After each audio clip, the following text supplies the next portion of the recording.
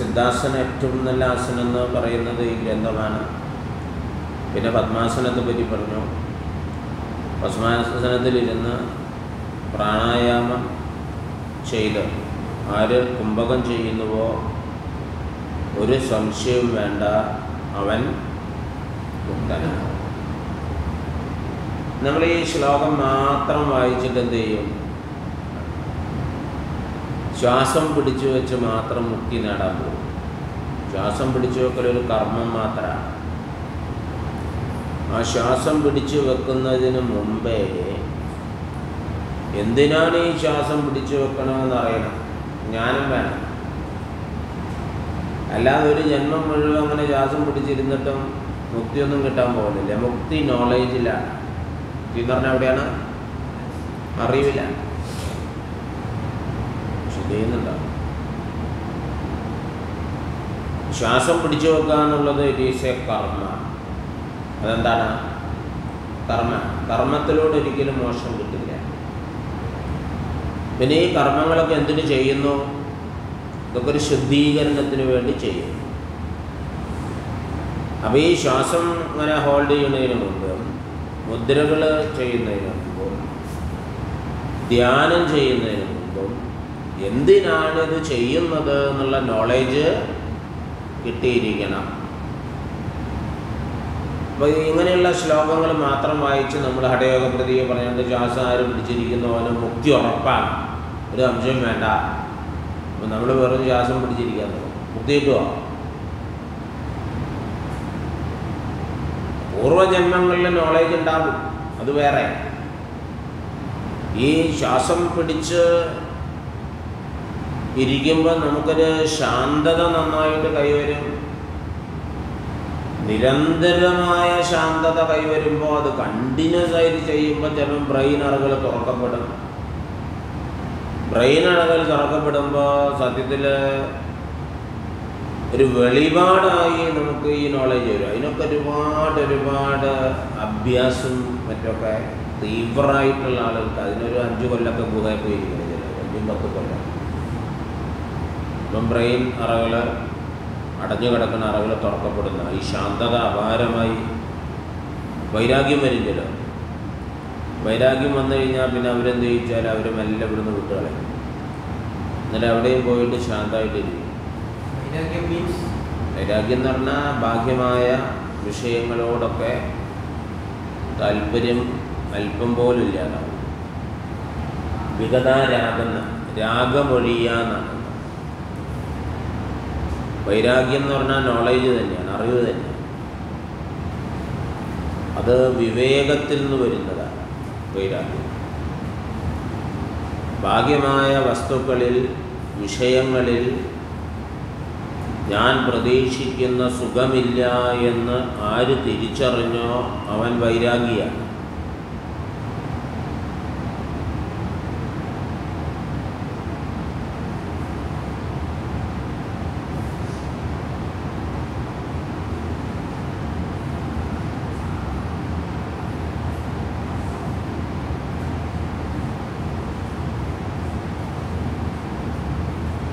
അതായത് സുഖം ബാഹ്യമായ ഒന്നിലുമല്ല. ഇപ്പം നമ്മുടെ വൈരാഗ്യങ്ങൾ മുഴുവൻ നമ്മൾ ബലം പ്രയോഗിച്ച് അത് ഒരു പരിധി വരെ നല്ലതാണ്. ഓവർ ബലം പ്രയോഗിച്ചാൽ ഒരു ദിവസം പൊട്ടി തീർക്കും അപ്പം നമുക്ക് ഏറ്റവും കൂടുതൽ ആസക്തിയുള്ള ഒരു വസ്തു നമ്മുടെ മുമ്പിൽ വെച്ച് തൽക്കാലം ഞാനത് ഉപയോഗിക്കുന്നില്ല എന്നൊക്കെ ചിന്തിച്ചിരിക്കൽ ഒരു സാധനയാണ്. നമ്മളെ കയ്യിലുണ്ടെന്നാലും നമ്മൾ ഉപയോഗിക്കുന്നില്ല. പക്ഷെ ശരിയായ വൈരാഗ്യം എന്ന് പറഞ്ഞാൽ അറിവിൽ നിന്നുണ്ടാവേണ്ടതാണ്. വിവേക ബുദ്ധിയിൽ നിന്നാണ് വൈരാഗ്യം ഉണ്ടാവേണ്ടത്. അത് നോളേജാണ് ആ നോളേജിലേക്ക് പ്രവേശിക്കണമെങ്കിൽ യോഗക്ക് വലിയ പങ്കുണ്ട് എന്ന് പറയാൻ കാരണം യോഗയിലിപ്പോൾ നമ്മളിപ്പോൾ ശവാസനത്തിൽ കിടന്നു. അത് കുറേ സമയം നമ്മൾ കിടക്കുകയാണെങ്കിൽ നമുക്ക് എന്ത് കിട്ടും? ഒരു സുഖം തോന്നും അല്ലേ? ആ സുഖം എവിടുന്ന കിട്ടുന്നത്. അപ്പം നമ്മൾ എന്തെങ്കിലും ഭാഗ്യമായ വസ്തുവിനെ ആശ്രയിച്ചോ? ഇല്ല. പക്ഷെ എന്നാലും നമുക്കൊരു ശാന്തത കിട്ടണില്ലേ ഒരു സുഖം കിട്ടണില്ലേ ഇത് നമ്മൾ നിരന്തരമായി അഭ്യസിക്കുമ്പോൾ നമ്മൾ ശരിക്കും നിരീക്ഷിക്കുന്നുണ്ടെങ്കിൽ ഈ സുഖം എവിടെ നിന്ന് വന്നു എന്ന് നമ്മൾ നിരീക്ഷിച്ചാൽ കുറേ മുന്നോട്ട് പോകുമ്പോൾ കുറേ സമയം നമ്മൾ ശവാസനവും ധ്യാനവും നടത്തുമ്പോൾ നമുക്ക് കണ്ണ് തുറക്കാൻ തോന്നില്ല അപ്പോൾ എവിടെ നിന്നാണ് ആ കണ്ണ് തുറക്കാൻ തോന്നില്ല എന്ന് വല്ലാത്തൊരു സുഖം ഫീൽ ചെയ്യും. ഭാഗ്യമായ ഒന്നിനോട് നമുക്ക് താല്പര്യം ഓവറായിട്ട് പഴയ മാതിരി ഉണ്ടാവില്ല. അപ്പം നമ്മൾ പഠിപ്പിക്കുകയാണ് യോഗ. ഈ അഭ്യാസം എന്താ പഠിപ്പിക്കുന്നത്? നമ്മൾ തേടുന്ന സുഖം എവിടെയുണ്ട്? നമ്മുടെ ഉള്ളിലുണ്ട്. അപ്പം ഭാഗ്യമായ വസ്തുക്കളെ നമ്മൾ ഉപയോഗിക്കുന്നു. ഗൃഹസ്ഥാശ്രമത്തിൽ നിന്നുകൊണ്ട് ഭാഗ്യമായ സുഖങ്ങളെ നമ്മൾ അനുഭവിക്കുന്നു. പ്രകൃതിയെ നമ്മൾ ഉപയോഗിക്കുന്നു. ആ പ്രകൃതിയിലൂടെ അത് നമ്മൾ ഭോഗിച്ച് ആ ഭോഗത്തിൽ ഒന്നുമില്ല. അതിൽ ഞാൻ പ്രതീക്ഷിക്കുന്ന തൃപ്തി കിട്ടില്ല എന്ന് നമ്മൾ തിരിച്ചറിയും. അപ്പം ആ തിരിച്ചറിവിനുള്ളതാണ് ഈ ഗൃഹസ്ഥാശ്രമം. അത് തിരിച്ചറിഞ്ഞിട്ടുള്ളതൊക്കെ വലിച്ചെറിയാനല്ല പറയുന്നത്. അതവിടെ നിന്നോട്ടെ ആ തിരിച്ചറിവിൽ ജീവിക്കുക. പിന്നെ അത് മോക്ഷമായി മാറും. അതാണ് പതഞ്ജലി പറഞ്ഞത്.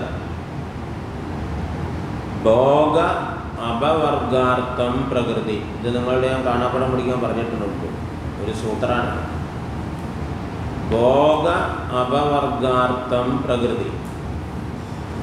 ഈ പ്രകൃതി എന്തിനു വേണ്ടിയുള്ളതാണ്? ഭോഗത്തിന് വേണ്ടിയുള്ളതാണ് അപവർഗത്തിന് വേണ്ടിയുള്ളതാണ്.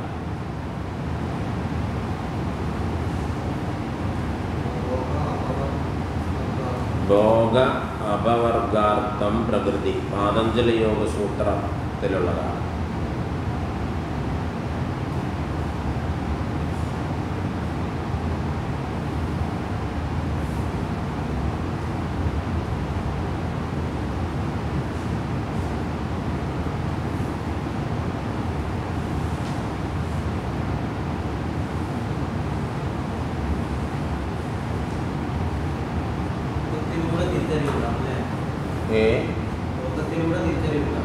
ബോധത്തിലൂടെ അതായത് എന്തെങ്കിലും ഒരു ആഗ്രഹം ഉള്ളിൽ വെച്ച് നമ്മൾ മുന്നോട്ട് പോയാൽ എല്ലാ ആഗ്രഹങ്ങളും അങ്ങനെ നിവർത്തിച്ചിട്ട് മോക്ഷം കിട്ടുമെന്നും കരുതണ്ട. അത് എഴുതിയിൽ എണ്ണ ഒഴിച്ചാവും ചിലപ്പോൾ എങ്കിലും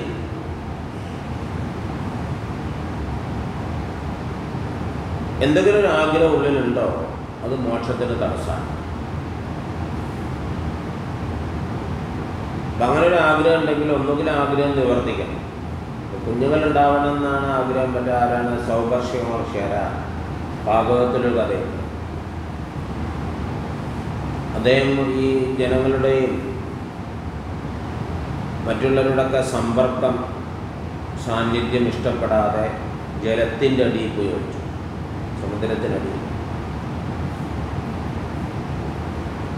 അപ്പോൾ അവിടെ ഇങ്ങനെ ഒളിഞ്ഞിരിക്കുമ്പോൾ മത്സ്യങ്ങൾ ആൺമത്സ്യം പെൺമത്സ്യങ്ങളൊക്കെ ഇങ്ങനെ കൂട്ടം കൂട്ടായിട്ട് ഇങ്ങനെ ആഘോഷിച്ച് നടക്കുന്നത് കണ്ടു.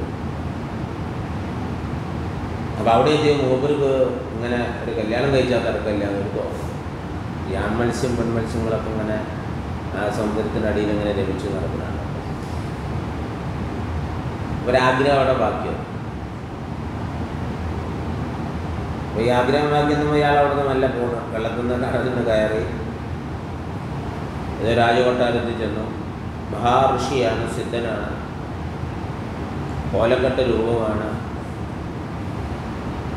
രാജാവിന്റെ അൻപത് പുത്രിമാരുണ്ട്. അതിലൊരു കുഞ്ഞിനെ കല്യാണം കഴിച്ചിരുന്നു രാജാവിന് ഭയങ്കര സങ്കടമായി ഈ കോലം കെട്ട മനുഷ്യൻ എങ്ങനെയപ്പോൾ കുട്ടികളെ കഴിക്കുക? കുട്ടികൾക്ക് ഇഷ്ടാവില്ല കണ്ടാൽ അത് അമ്മാതിരി കോലം കെട്ട രൂപ തപസ് ചെയ്ത് ചെയ്ത് ചെയ്ത് ബോഡിക്ക് അങ്ങനെ ആയിരുന്നു. രാജാവ് പറഞ്ഞു കാരണം ഋഷിയല്ലേ? ഋഷിയെ വേദനിപ്പിച്ചാൽ അതിന് ശാപം വരും എന്ന് ഭയന്നിട്ട്. അങ്ങ് കൊട്ടാരത്തിൽ വന്ന് സ്വയംവരം നിങ്ങൾക്ക് ഇഷ്ടമുള്ള കുട്ടികളെ ആരാണോ അവരെ സ്വയംവരം നടത്തി പോയിക്കോളൂ എന്ന് പറഞ്ഞു. അപ്പം ഇദ്ദേഹത്തിന് ഋഷിക്ക് മനസ്സിലായി രാജാവ് ആൾ വളവനാണ്. എന്റെ കോലം കണ്ട എന്നെ ഒരു പെണ്ണും സ്വീകരിക്കില്ല. അദ്ദേഹം പോയി സിദ്ധനാണല്ലോ. വളരെ നല്ല സുന്ദര രൂപം കെട്ടിയിട്ടാണ് വരുന്നത് ഈ അൻപത് കുട്ടികൾക്കും ഇയാളെ കണ്ടപ്പോൾ അൻപത് ആൾക്കും ഇയാളെ കല്യാണം കഴിക്കണം അത്രയും സുന്ദരൻ അങ്ങനെ അൻപത് കുട്ടികളെയും കല്യാണം കഴിച്ചു. അതിൽ പത്ത് കുട്ടികൾ അങ്ങനെ അഞ്ഞൂറ്റി പത്ത് കുട്ടികളൊക്കെ ആയി. പിന്നെയാണ് ഇയാൾക്ക് എന്റെ തേജസ് നഷ്ടപ്പെട്ടു എന്നൊരു തോന്നലൊക്കെ വന്ന് വീണ്ടും സന്യാസത്തിലേക്ക് തന്നെ പോവുക അപ്പോൾ ഒരു ആഗ്രഹം അവിടെ അത് എപ്പോഴാണ് മുളച്ച് പൊങ്ങുകയെന്ന് പറയാൻ പറ്റില്ല. അങ്ങനെ മുളച്ച് പൊങ്ങിക്കഴിഞ്ഞാൽ ആ ആഗ്രഹം വെച്ചുകൊണ്ട് ഒരിക്കലും നമുക്ക് മോക്ഷത്തിലേക്ക് പോകാൻ പറ്റില്ല. അപ്പം അതിനു വേണ്ടിയിട്ടാണ് ഗൃഹസ്ഥാശ്രമം നമുക്ക് തന്നത്. ബ്രഹ്മചര്യ കാലഘട്ടം നമുക്ക് തന്നത് പഠിക്കാനാണ്. അത് ഇരുപത്തഞ്ച് കൊല്ലമുണ്ട് ആ ഇരുപത്തഞ്ച് കൊല്ലം പഠിച്ചു കഴിഞ്ഞ് പിന്നെ നമ്മൾ ഗൃഹസ്ഥാശ്രമത്തിലേക്ക് പ്രവേശിച്ച പ്രകൃതിയെ ഭോഗിക്കാം. എന്നിട്ട് ആ ഭോഗത്തിൽ ഒന്നുമില്ല എന്ന് തിരിച്ചറിയാനുള്ള കാലഘട്ടമാണ്.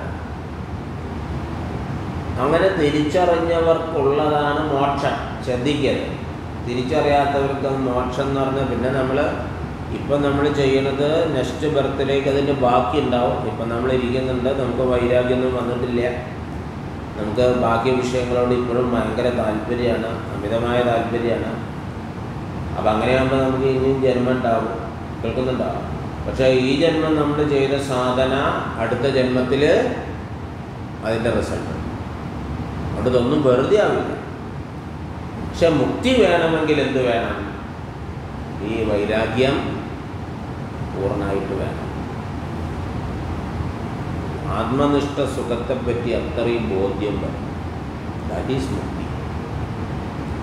മുക്തി എന്ന് പറഞ്ഞാൽ പരമശാന്തിയാണ് വേറെ ഒന്നുമല്ല ഒരു തിരിച്ചറിവാണ്. ഇത് മുഴുവൻ ആനന്ദമാണ്. അത് ആത്മനിഷ്ഠമാണ് എന്നുള്ള തിരിച്ചറിവാണ്.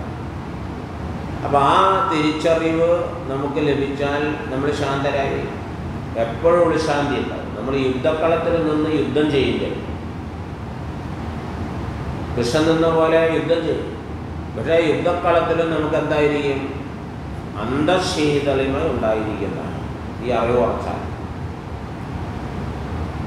മരണം എന്റെ മരണത്തെയും മറ്റുള്ളവരുടെ മരണത്തെയും നമ്മൾ നോക്കിക്കാണാൻ അന്തശീതളിമയോടെയാണ് നമുക്ക് ഭയം അല്ലെങ്കിൽ പേടി ഉണ്ടാവില്ല അങ്ങനെ അത് അങ്ങനെ ഒരു തലത്തിലേക്ക് നമ്മൾ എത്തണമെങ്കിൽ ഈ വിവേകത്തിലൂടെ വൈരാഗ്യം കളയണം അതിന് ജീവിത അനുഭവങ്ങൾ ഉണ്ടാകും. എന്തെല്ലാം നേടിയാലും ഞാൻ ആഗ്രഹിക്കുന്ന പരമശാന്തി ലഭിക്കില്ല എന്ന് ഉറപ്പ് വരണം എന്തൊക്കെ ഭാഗ്യം നേടിയാൽ പിന്നെ എവിടെയാണ് ശാന്തി? അത് ആത്മനിഷ്ഠമാണ്. അത് എന്റെ ആഗ്രഹങ്ങൾ ഒടുങ്ങുമ്പോഴാണ്. കോഴി ബിരിയാണി കഴിക്കണം തോന്നി. അത് നമ്മുടെ മുമ്പിലെത്തിയാൽ തന്നെ നമുക്കൊരു സുഖം. കഴിക്കണമെന്നില്ല. അപ്പോൾ അവിടെ ആഗ്രഹം ഏകദേശം കൊടുക്കുക ആ കിട്ടിയല്ല. അപ്പോൾ നമുക്കൊരു ശാന്തതയൊക്കെ അപ്പ് ചെയ്തു അത് കഴിക്കും കൂടി ചെയ്താലോ? പൂർണമായി. അത് കഴിച്ചു കഴിഞ്ഞാൽ പിന്നെ എന്താണ് മറ്റൊരു ആഗ്രഹം എന്താണ് അത് വേറെ. എല്ലാ അനുഭവങ്ങളും അങ്ങനെയായിരിക്കും. ഇത് തിരിച്ചറിയാൻ നമുക്ക് ഒരു സുന്ദരമായ പ്രകൃതിയെ ഒരുക്കി തന്നിരിക്കുകയാണ് എന്തിനാണ് ഇതൊക്കെ എന്ന് ചോദിച്ചാൽ ഇതൊക്കെ ഒരു ലീല അറിയുള്ളൂ ഇതെല്ലാം ഒരു ഭഗവത് ലീലയായിട്ട് മാത്രം കണ്ടാൽ അപ്പോൾ ഞാൻ ഈ പത്മാസനത്തിന്റെ മഹത്വത്തോടെ പറഞ്ഞത് ഇവ ഞങ്ങൾക്ക് നമുക്കറിയാം ഞാൻ ആരാണ് നമ്മൾ പഠിച്ചിട്ടുണ്ട്. നമുക്ക് നോളേജ് ഉണ്ട്. ഈ ഞാൻ ആരാണ് ഞാൻ ഞാൻ എന്നുള്ള അനുഭവം നമുക്കെല്ലാവർക്കും. അല്ലേ? ഇപ്പം കറണ്ട് പോയാലും നമുക്ക് ഞാനുണ്ട് എന്നറിയാൻ വേറെ ഒന്നിന്റെ ആവശ്യമില്ല. ഞാനുണ്ട്. അപ്പോൾ ഈ ഞാനുണ്ട് എന്നുള്ള അനുഭവമാണ് ആത്മാനുഭവം എന്ന് നമുക്കൊക്കെ അറിയാം. അപ്പോൾ ഈ ഞാനാണ് ഞാൻ എന്നുള്ളത് ശരീരമല്ല മനസ്സുമല്ല ബുദ്ധിയുമല്ല. ഈ ശരീരത്തിനും മനസ്സിനും ബുദ്ധിക്കൊക്കെ സാക്ഷിയാണ് അതിനെ മാറി നിന്ന് അതിനെ കാണുകയാണ് അപ്പോൾ ഒരു സാക്ഷി ഭാവത്തിൽ നമ്മൾ ഇരിക്കുക. ഈ ഞാനിൽ രമിച്ച് ഈ ഞാൻ തന്നെയാണ് എല്ലാറ്റിലും ഞാനായിട്ടുള്ളത്. അത് അഖണ്ഡ ബോധമാണ് എന്ന നോളേജ് നമുക്കുണ്ട്. അത് അനുഭവമില്ല.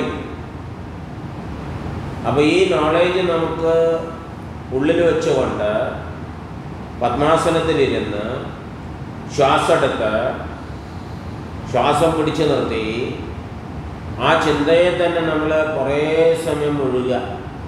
മുക്തി ഉറപ്പാണ്. അംശയില്ല കാരണം ശ്വാസം പിടിച്ചു നിർത്തി നമ്മൾ ചിന്തിക്കുന്നു. മറ്റു ചിന്തകൾ വരില്ല. അത് നമ്മൾ കപാലപാതി ചെയ്യാറുണ്ടല്ലോ. പിടിച്ചു വെച്ചിട്ട് ഞാൻ ആത്മാ ആ സമയത്ത് വേറെ ചിന്തകൾ വരില്ല.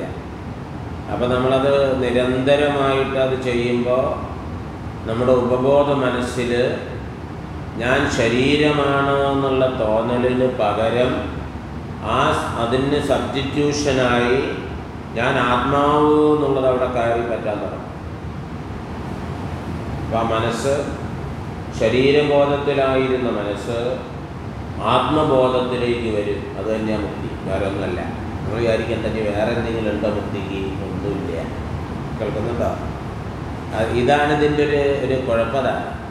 അല്ല അങ്ങനെ അത്ര സിമ്പിളാണത്. സിമ്പിളല്ലല്ലോ. ഇപ്പം നമ്മുടെ ഉപബോധ മനസ്സിലൊക്കെ ഞാൻ ശരീരമാണ് ഞാൻ മനസ്സാണ് എന്നുള്ള ചിന്ത ഉറച്ചു കിടക്കാനാണ് നമ്മൾ എന്തൊക്കെ പറഞ്ഞാലും നമ്മൾ ശരീരബോധത്തിലാണ്. ഇതിനെ സബ്സ്റ്റിറ്റ്യൂട്ട് ചെയ്ത് ഞാൻ ശരീരമല്ല ഞാൻ ആത്മാവാണ് അത് അവിനാശിയാണ് അതിന് ജന്മമില്ല അതിന് മരണമില്ല അത് ഇന്നലെ ഇവിടെയുണ്ട് ഇപ്പോഴിവിടെയുണ്ട് നാളെ ഇവിടെ ഉണ്ടാകും എന്ന് നമുക്ക് ഉറപ്പ് വരണമെങ്കിൽ അത് നിരന്തരമായി നമ്മൾ ധ്യാനിച്ച് മനസ്സിനെ ശാന്തമാക്കി മനസ്സിനെ മുഴുക്കി അല്ലേ അത് മനസ്സിനെ പൂർണമായി ലയിപ്പിച്ച് ആ മനസ്സിൽ ആ ചിന്തയെ തന്നെ ഇങ്ങനെ താലോലിക്കണം. അപ്പം മനസ്സ് ആത്മബോധത്തിലേക്ക് വരുമ്പോൾ പിന്നെ മനസ്സല്ല അത് ആത്മാവാണ്. സംഭവമൊക്കെ ഒന്നില്ല മനസ്സിൽ ലോകമുണ്ടെങ്കിൽ ഇത് ശരീരമാണ് ഇത് അമ്മായിയാണ് ഇത് ഭർത്താവാണ് ഇത് ഭാര്യയാണ് ഇത് കെട്ടിടമാണ് എന്ന ചിന്ത മനസ്സിലുണ്ടെങ്കിൽ അത് മനസ്സ് തന്നെയാണ്. എന്നാൽ മനസ്സിൽ ഇത് അമ്മായിയല്ല ഇത് ബിൽഡിംഗ് അല്ല ഇത് കെട്ടിടമല്ല ഇത് ആനയല്ല ഇത് ആത്മാവ് തന്നെയാണ് ഇത് ചൈതന്യം തന്നെയാണ് ഇത് സയൻസ് പറയുന്ന കോൺഷ്യസ് എനർജിയാണ് എന്ന് മനസ്സിൽ ഉറപ്പായി കഴിഞ്ഞാൽ ആ മനസ്സ് പിന്നെ മനസ്സല്ല. അത് പിന്നെ എന്താണ്? അത് ആത്മാവാണ്. പിന്നെ മനസ്സില്ല. അപ്പം നമ്മളത് എങ്ങനെയാണ് സാറേ നേടിയെടുക്കുക? അത് നിരന്തരമായ ചിന്തനത്തിലെന്ന് ഉപനിഷത്തുകൾ പറയുന്നു. അതിനെ ധ്യാനം വിധിച്ചത്. ധ്യാനം മാത്രമല്ല ഇരിക്കുമ്പോൾ ധ്യാനം നടക്കുമ്പോൾ ധ്യാനം കിടക്കുമ്പോൾ ധ്യാനം എന്തെല്ലാം കാണുന്നോ എന്തെല്ലാം കേൾക്കുന്നോ എന്തെല്ലാം രുചിക്കുന്നോ അത് മുഴുവൻ ആത്മാവ് തന്നെയാണെന്ന് നിരന്തരമായി ചിന്തിക്കണം. ഇതാണ് ധ്യാനം. അപ്പോൾ നമുക്ക് കിട്ടിയ അതാണ് ഇവിടെ പറഞ്ഞത്. പത്മാസനത്തിലിരുന്ന് ശ്വാസം പിടിച്ചു നിർത്തി ആത്മബോധത്തിൽ തന്നെ ഇരുന്നോളൂ മുക്തി ഉറപ്പാണ് ശ്വാസം പിടിച്ചെടുക്കുമ്പോൾ ഒന്നും കൂടി നമ്മുടെ ഉപബോധ മനസ്സിലേക്ക് ആ ചിന്ത ഇറങ്ങിച്ചെല്ലും. ക്ലിയറായത് യെസ് അടുത്ത. അൻപത് വേണ്ട. അതൊക്കെ ആസന അതൊക്കെ നിങ്ങൾ വായിച്ചാൽ മതി സിംഹാസനം. അൻപത്തൊന്ന് വേണ്ട. അൻപത്തി രണ്ട് അതൊക്കെ ആസനങ്ങളുടെ ബലങ്ങൾ പറയാം. അതൊക്കെ നിങ്ങൾ വായിച്ചാൽ മതി. അൻപത്തി മൂന്ന് ഭദ്രാസനമാണ് വേണ്ട വായിച്ചാൽ മതി. അൻപത്തി നാലും അതിന്റെ ഫലങ്ങളും അത് ചെയ്യുന്ന രീതിയാണ് വേണ്ട. പക്ക മറിച്ചു പോയ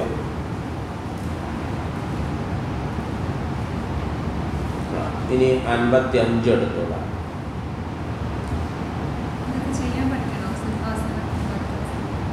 അതൊന്നും ഇതൊന്നും നിർബന്ധമില്ല. അത് ഘടയോഗ പ്രദീപികയിൽ പതിനഞ്ച് ആസനമാണ് ചിലതൊക്കെ നമ്മൾ ചെയ്യണതാണ്. വേണമെങ്കിൽ നമുക്ക് ഈ ആസനങ്ങൾ പതിനഞ്ചെണ്ണം നമുക്കിവിടെ ചെയ്യാം. ഒരു ദിവസം നമുക്കത് ചെയ്യാം. അത് ചെയ്തോളണം നിർബന്ധം. സിദ്ധാസനവും പത്മാസനമൊക്കെ ക്രമേണ അഭ്യസിച്ച് പഠിക്കുക. അതൊന്നും ഒരൊറ്റ ദിവസം കൊണ്ട് കഴിയുന്നതല്ല. നിരന്തരമായ അഭ്യാസത്തിൽ ഇരുത്തം ശരിയാക്കുക. നല്ലതാണ്. ഇനി അന്ന് അങ്ങനെ അല്ലെങ്കിൽ മതി. സമയം കൂട്ടിയിരിക്കും ഇപ്പം നിങ്ങൾ ഏത് ആസനത്തിലാണ് നിങ്ങൾക്ക് എളുപ്പം? അതിങ്ങനെ സമയം കൂട്ടിയിരുന്നത്. അപ്പം നമുക്ക് ധ്യാനത്തിന് ആ പോഷകം ഉപയോഗിക്കും? അനങ്ങാതെ കുറേ ഇരിക്കാൻ പഠിക്കാം. അത്രയേ ഉള്ളൂ. വേറെ ഒന്നുമില്ല. പിന്നെ നമ്മളിവിടെ ചെയ്യുന്ന പന്ത്രണ്ട് ആസനല്ലേ? ആ പന്ത്രണ്ട് ആസനം കൊണ്ട് നമ്മുടെ ശരീരത്തിൽ ചലിക്കാത്തൊരു ഏരിയ ഇല്ല അതിങ്ങനെ ക്രമേണ അതിങ്ങനെ സമയം കൂട്ടി ഒക്കെ ചെയ്തു കഴിഞ്ഞാൽ നിങ്ങളെ ബോഡിക്കുള്ള വ്യായാമം പിന്നെ പത്മാസനത്തിലൊക്കെ നിങ്ങൾക്ക് രണ്ട് മണിക്കൂറോ മൂന്ന് മണിക്കൂറൊക്കെ ആസനങ്ങൾ ചെയ്യുന്നവർക്ക് എളുപ്പമായി ഇരിക്കാൻ പറ്റും എന്തിനാണ് ഈ ആസനങ്ങളൊക്കെ ചെയ്യുന്നത്? ആസനസിദ്ധി നേടാൻ. അത് കഴിഞ്ഞ ഒരു ശ്ലോകം അങ്ങനെ ഉണ്ടായിരുന്നു. ആസനസിദ്ധി നേടിയാൽ സിദ്ധാസനം ശരിക്ക് ചെയ്യാൻ പഠിച്ചാൽ പിന്നെ മറ്റ് ആസനങ്ങളുടെ ആവശ്യം എന്ത് എന്ന് നമ്മളിത് ചോദിച്ചിട്ടുണ്ട് ശ്ലോകത്തിൽ. കഴിഞ്ഞു.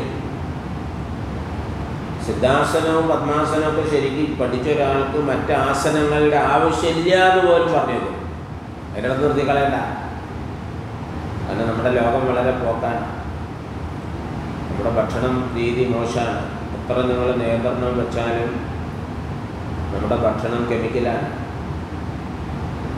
അതുകൊണ്ട് ഇനി യോഗ നിർത്താനായിട്ട് നിർത്തുന്നതിനെ പറ്റി ചിന്തിക്കണ്ട. ആരോഗ്യത്തോടൊക്കെ ജീവിക്കണമെങ്കിൽ. കാരണം ഡെയിലി ഉള്ളോട്ട് ചെല്ലുന്ന കെമിക്കലിനെ കഴിയുന്നത്ര പുറന്തള്ള യോഗ നിർബന്ധമാണ്. ആത്മജ്ഞാനത്തിലേക്ക് കടന്നു വരാൻ പഴയ കാലത്ത് വിധിച്ചത് യോഗാസനങ്ങൾ നല്ലത് ചെയ്യുക ബോഡിയെ ഫിറ്റാക്കുക രണ്ടോ മണിക്കൂർ നേരം മൂന്നോ മണിക്കൂർ നേരം അനങ്ങാതിരിക്കാൻ പഠിക്കുക. അത് മതി ആത്മജ്ഞാനത്തിൽ. പിന്നെ നിങ്ങൾ യോഗാസനം ചെയ്തോളും നിർബന്ധമൊന്നുമില്ല. ശ്രദ്ധിക്കുന്നുണ്ടാവും പക്ഷെ ഇപ്പോൾ ഇപ്പോഴത്തെ കാലത്ത് അതുപോലെ കാലത്തിന്റെ പ്രത്യേകത നമ്മുടെ ചിന്തകൾ മലിനമാണ്. ചിന്തകൾ കെമിക്കലാണ് ഉണ്ടാക്കുന്നത് ഓരോ വേണ്ടാത്ത ചിന്തകളായിട്ട് നടക്കുന്നു. അത് നമ്മുടെ ബോഡിയിൽ എന്തുൽപാദിപ്പിക്കുന്നുണ്ട് മാലിന്യങ്ങൾ ഉൽപ്പാദിപ്പിക്കുന്നു. അല്ലേ? ഏറ്റവും വലിയ മാലിന്യം ചിന്താ മാലിന്യമാണ് ഭക്ഷണ മാലിന്യമൊന്നുമല്ല നമ്മളൊരു ഭക്ഷണത്തെ കുറ്റം പറയുന്നുള്ളൂ. ഭക്ഷണത്തിൽ അത്രയും മാരകമായ കെമിക്കലുണ്ട്. അത് വേറെ. നമുക്ക് പിടികിട്ടാത്ത രീതിയിൽ വന്നിരിക്കുക. പക്ഷെ അതിന്റെ ഉപരിയാണ് നമ്മുടെ ചിന്തകളിലൂടെ ഉണ്ടാകുന്ന മാലിന്യങ്ങൾ ടെൻഷൻ അടിച്ചുണ്ടാക്കുന്ന മാലിന്യങ്ങൾ അപ്പം അതുകൊണ്ട് ഡെയിലി യോഗ എന്നുള്ളത് നിർബന്ധം തന്നെയാണ്. ഇനി അൻപത്തി അഞ്ചാമത്തെ ശ്ലോകം. അൻപത്തി അഞ്ച് ഏവമാസനബന്ധേഷു. യോഗീന്ദ്രോ വിഗതശ്രമ. അഭ്യാസേ നാടികാശുദ്ധിം. മുദ്രാദിപ്പവനക്രിയാം നമുക്കറിയണത് തന്നെയാണ് അറിയണതാണെങ്കിൽ നമ്മൾ ശ്ലോകങ്ങൾ വായിച്ച് പഠിക്കുമ്പോൾ നമുക്കൊന്നും കൂടി ഒരു ക്ലാരിറ്റി വരും. ഏവം ആസന ബന്ധേഷു ഏവം മീൻസ് ഇൻ ദിസ് വേ ഈ രീതിയിൽ. ആസന ബന്ധേഷു മീൻസ് ആസനങ്ങളും ബന്ധങ്ങളൊക്കെ ചെയ്തിട്ട്. ഈ രീതിയിൽ ഡൂയിങ് ആസനാസ് ആൻഡ് ബന്ധാസ് ഇപ്പം നമ്മൾ മേലെ പറഞ്ഞു കുറേ ആസനങ്ങൾ ചെയ്യുക യോഗാസനങ്ങൾ ചെയ്യുക ബന്ധങ്ങൾ അനുഷ്ഠിക്കുക. ഇങ്ങനെ ചെയ്തിട്ട് യോഗീന്ദ്രോ ആരാ യോഗീന്ദ്രൻ? ദ ഗ്രേറ്റ് യോഗി. മഹായോഗി. വിഗതശ്രമ ശ്രമ മീൻ ക്ഷീണം. ഫാറ്റിക് ക്ഷീണം. വിഗത മീൻ ഉപേക്ഷിക്കുക. ഈ രീതിയിൽ യോഗാസനങ്ങളും ബന്ധനങ്ങളൊക്കെ ചെയ്ത് ക്ഷീണത്തെ ഉപേക്ഷിച്ചിട്ട് എന്തിനാ ഉപേക്ഷിക്കുന്നത് വിഗതശ്രമ ബൈ ഗെറ്റിംഗ് റിഡ് ഓഫ് വിഗത മീൻ ഗെറ്റിംഗ് റിഡ് ഓഫ് എന്നാണ് ഒഴിവാക്കുക എന്തിനു ഒഴിവാക്കുക ശ്രമ ശ്രമ മീൻ ക്ഷീണം ടയേർഡ്നെസ് ഫാറ്റിക് ക്ഷീണത്തെ ഒഴിവാക്കിയിട്ട് അഭ്യാസേത്। അഭ്യസിക്കുക। എന്തിനെ അഭ്യസിക്കണം? നാഡികാശുദ്ധി നാഡികാശുദ്ധി മീൻ നാഡീശുദ്ധി പ്രാണായാമം. പ്യൂരിഫിക്കേഷൻ ഓഫ് നാഡി. നാഡിയെ ശുദ്ധീകരിക്കണം. കേൾക്കുന്നുണ്ടോ? ഇത് നിങ്ങൾക്ക് അറിയേണ്ടതാണ് യോഗാസനം ബന്ധങ്ങളൊക്കെ നടത്തി അത്യാവശ്യം ക്ഷീണമൊക്കെ ഒഴിവാക്കുക. ഒരു ശുദ്ധീകരണമൊക്കെ നടത്തി. പിന്നെ നിങ്ങൾ ചെയ്യേണ്ടത് നാഡീശുദ്ധിയെ നടത്തണം. നാഡീശുദ്ധി നടത്താൻ എന്താ വേണ്ടത്? നാഡീശുദ്ധി പ്രാണായാമം ചെയ്യണം. അഭ്യാസേ നാഡികാശുദ്ധി യു ഷുഡ് പ്രാക്ടീസ് നാഡീശുദ്ധി ദ പ്യൂരിഫിക്കേഷൻ ഓഫ് നാഡീസ് കേൾക്കുന്നുണ്ടോ? നാഡി ശുദ്ധീകരണം ചെയ്യണം.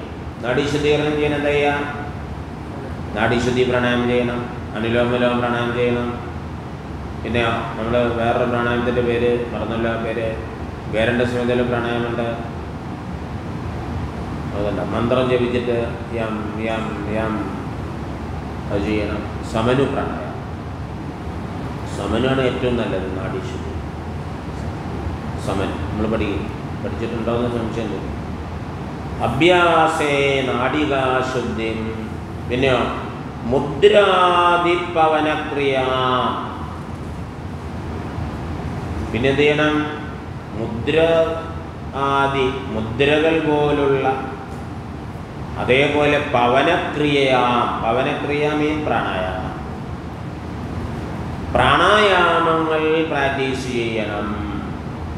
പ്രാണായാമം ഏതാണ്? എത്രയാണ് നമ്മൾ പഠിച്ച പ്രാണായാമം? കുംഭ അനുലോമ നാഡീശുദ്ധിയാണ് അത് പ്രാണായാമം എന്ന് പറയില്ലേ? നമ്മൾ സാധാരണ പറയണമെന്നുണ്ടെന്നുള്ളൂ നാഡീശുദ്ധിക്കുള്ള പ്രാണായാമം. പ്രാണായാമം എന്ന് പറഞ്ഞാൽ എന്താണ്? അത് കുംഭകങ്ങളാണ്. എത്ര കുംഭങ്ങളാണ് പഠിച്ചത് നമ്മൾ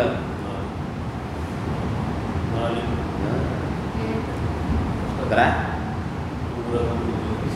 എത്ര കുംഭങ്ങളാണ്? അഷ്ട കുംഭക. എട്ട് കുംഭകങ്ങളുണ്ട്. അത് ചിലപ്പോൾ ഒമ്പതും പത്തൊക്കെ ആവും. പക്ഷേ സ്വാഭാവികമായിട്ട് നമ്മൾ പറയാ അടയോഗ പ്രദീപിലൊക്കെ അഷ്ടകുംഭകങ്ങൾ ഏതൊക്കെയാ അഷ്ടകുംഭകങ്ങൾ ഉജ്ജായി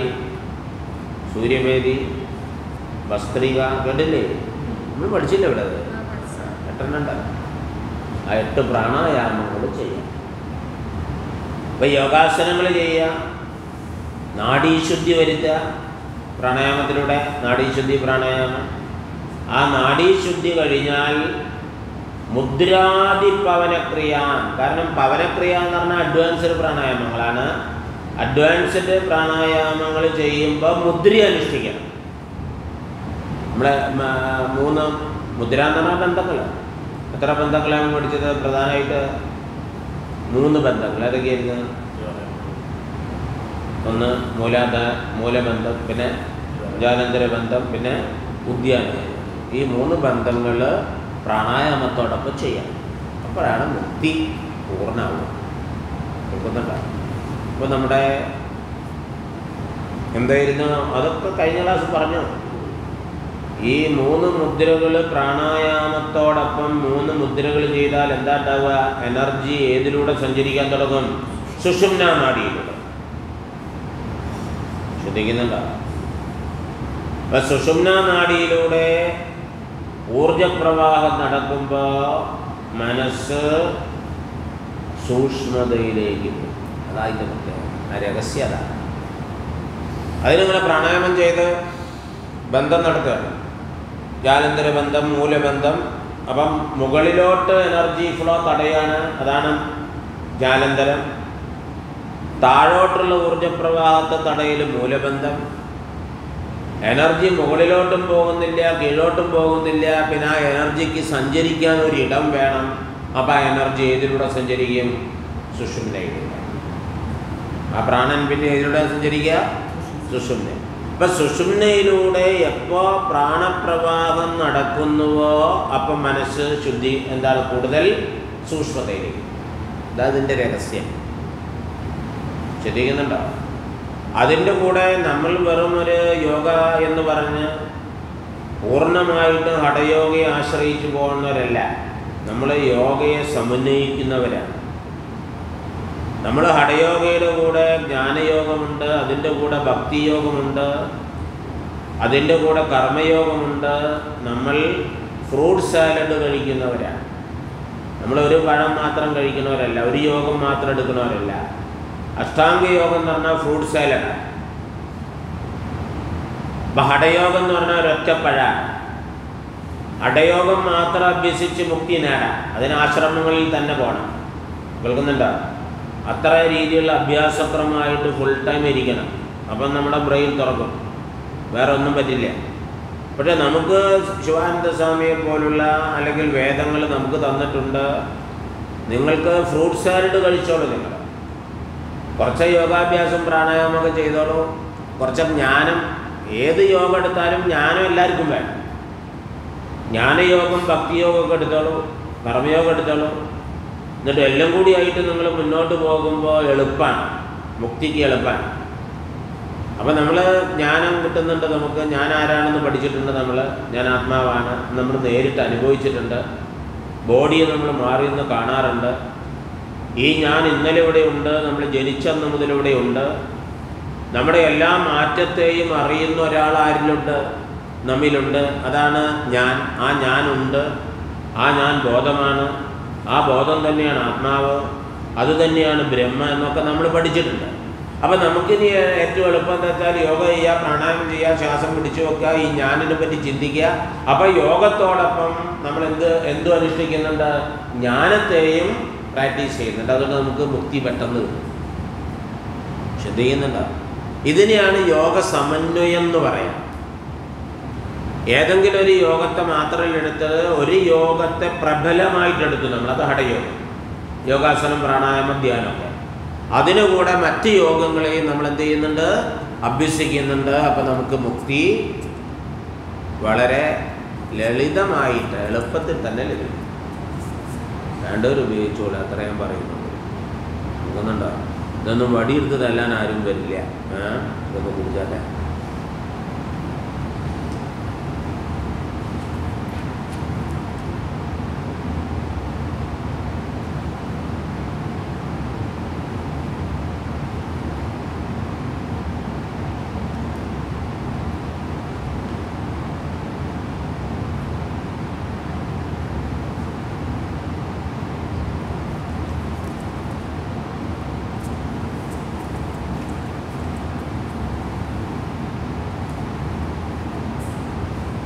ഇനി അൻപത്തി ആറ്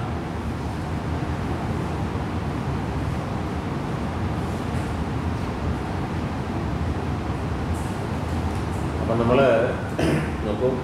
ഇതിൽ പറഞ്ഞ ഓരോ വാക്കുകളും ശ്രദ്ധിക്കുക. ആസനങ്ങളും ബന്ധങ്ങളൊക്കെ ചെയ്താൽ ക്ഷീണം പോകും. ശ്രദ്ധിക്കുന്നുണ്ടോ?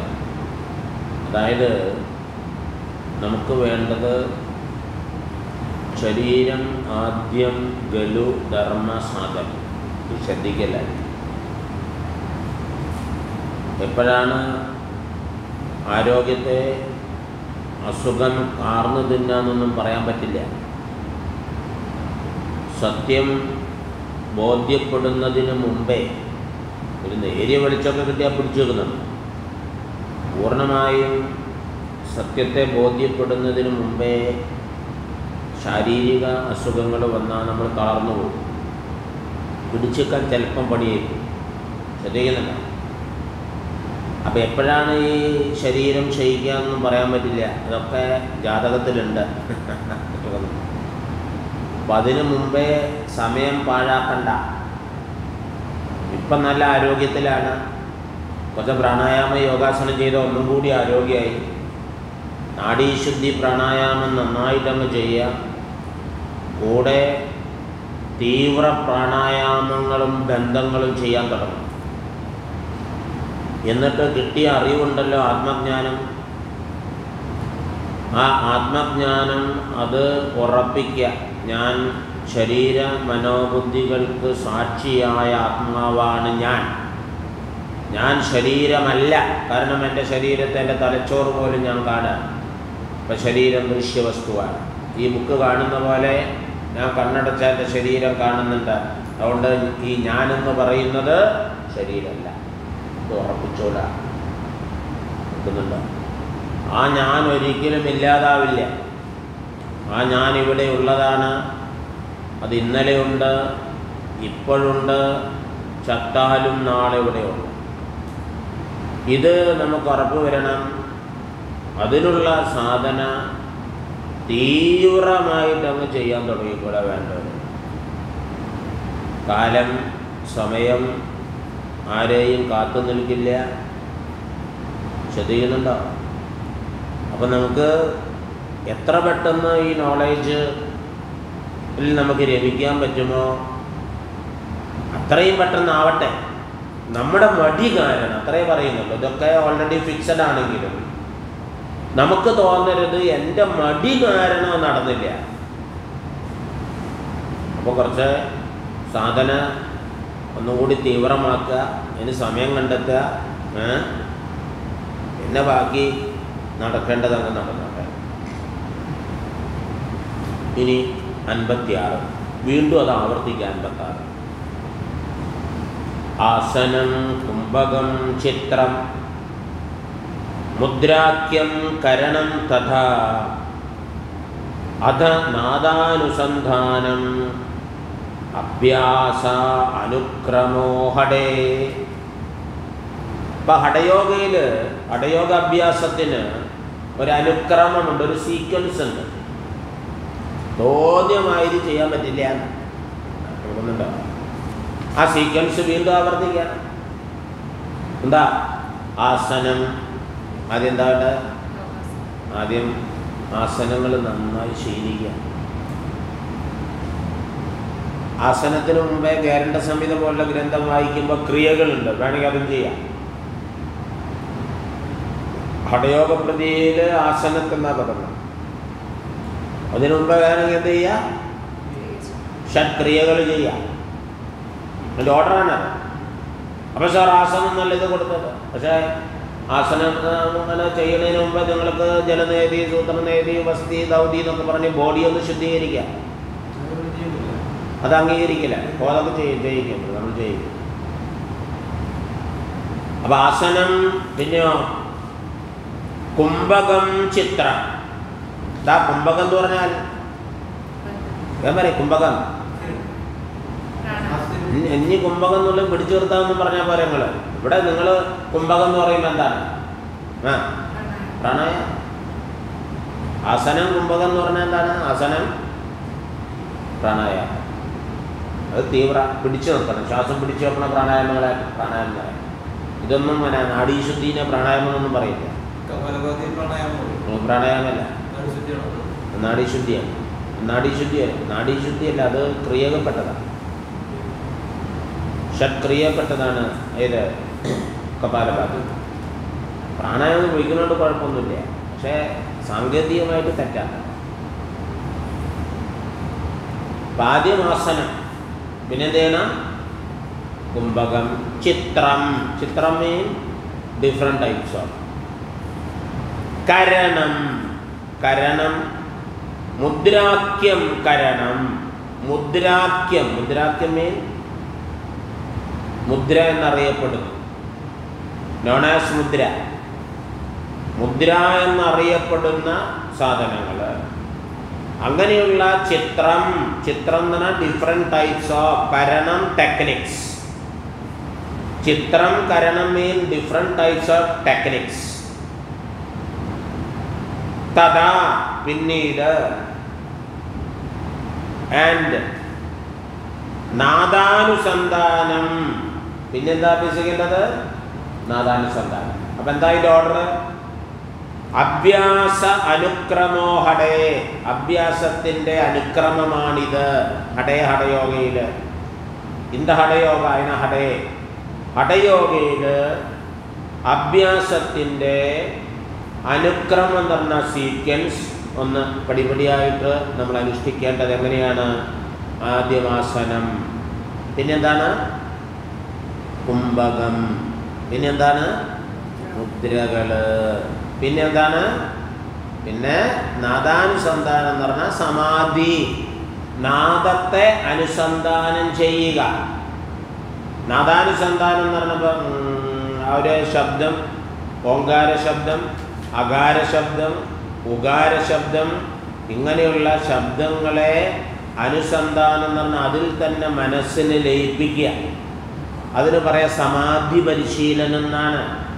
സമാധി പരിശീലനത്തിൽ ഏറ്റവും പ്രധാനപ്പെട്ടതാണ് നാദത്തെ എന്ത് ചെയ്യൽ ആ നാദത്തെ അനുസന്ധാനം ചെയ്യുന്നത് കൊടുക്കുന്നുണ്ടോ അപ്പൊ നാദാനുസന്ധാനം എന്ന് പറഞ്ഞാൽ അതിന് ശരിയായ പദം എന്താണ്? സമാധി പരിശീലനം. അപ്പൊ ഹഠയോഗയിലെ ക്രമം എന്താണ്? ആസനം കുംഭകം മുദ്ര സമാധി. നാദാനുസന്ധാനം എന്ന് പറഞ്ഞാൽ എന്താണ്? സമാധി. അപ്പൊ ഈ ഗ്രന്ഥം ഹഠയോഗ പ്രതീതികയിൽ നമ്മൾ പഠിച്ചിട്ടുള്ള യോഗമാണ് ചതുരംഗ യോഗം സ്വാത്മാരാമ ഋഷി ഹഠയോഗ പ്രദീപികയിലൂടെ നാല് കാര്യങ്ങളെ ചെയ്യാൻ പറയുന്നുള്ളൂ. കേൾക്കുന്നുണ്ടോ? അതിനാണ് ചതുര അംഗ യോഗം എന്ന് പറയുന്നത് ചതുര എന്ന് പറഞ്ഞാൽ എത്രയാ? നാല്. ഫോർ സ്റ്റെപ്സ് ഓഫ് യോഗ എന്നാണ് ചതുരംഗ യോഗം. ആ ചതുരംഗ യോഗമാണ് ഈ പറഞ്ഞത്. ചതുരംഗ യോഗം. നമ്മൾ സാധാരണ ഫോളോ ചെയ്യുന്നത് അഷ്ടാംഗ യോഗ അവിടെ എത്ര അംഗമുള്ളത് എട്ടംഗങ്ങൾ പിന്നെ ഏതൊക്കെ യോഗങ്ങളാണുള്ളത് പറയും? ഷഡംഗ യോഗം ഷഡംഗ യോഗം എന്ന് പറഞ്ഞാൽ എത്രയാ? എയ്റ്റ് സ്റ്റെപ്സ് ഓഫ് യോഗ പൂർണതയ്ക്ക് വേണ്ടി എട്ട് കാര്യങ്ങൾ എന്താ എട്ട് കാര്യങ്ങൾ? അല്ല ആറ് കാര്യം. ആറ് കാര്യം എത്ര ഏതൊക്കെയാ? അതിൽ യമം നിയമം ഉണ്ടാവില്ല. ബാക്കിയൊക്കെ ഉണ്ട്. അഷ്ടാംഗ യോഗയിലെ ബാക്കിയൊക്കെ ഉണ്ട്. സപ്താംഗ യോഗം ഉണ്ട്. ഏഴ് അംഗങ്ങൾ. അത് ഏത് ഗ്രന്ഥത്തിലെ? ഏഴംഗം ഗേരണ്ട സംഹിതയാണ്. ഗേരണ്ട സംഹിതയിൽ മുക്തിക്ക് ഏഴ് കാര്യം ചെയ്യാൻ പറയാം. അതിനാണ് സപ്ത അംഗം സപ്താംഗ യോഗം. ഹഠയോഗ പ്രദീപയിൽ മുക്തിക്ക് എത്ര കാര്യം ചെയ്യാൻ പറയണത്? ഇപ്പൊ നമ്മൾ പഠിക്കുന്ന ഹഠയോഗ പ്രദീപിക. ഈ ഹഠയോഗ പ്രദീപികയിൽ മുക്തിക്ക് എത്രയേ പറയുന്നുള്ളൂ? നാലെണ്ണം ചെയ്താൽ എന്തൊക്കെയാ? ഡെയിലി ആസനം ചെയ്തോളൂ പിന്നെ പ്രാണായാമം ചെയ്തോളൂ പിന്നെ പ്രാണായാമത്തോടെ മുദ്രകൾ ചെയ്തോളൂ പിന്നെ ലയിച്ചിരുന്നോളൂ.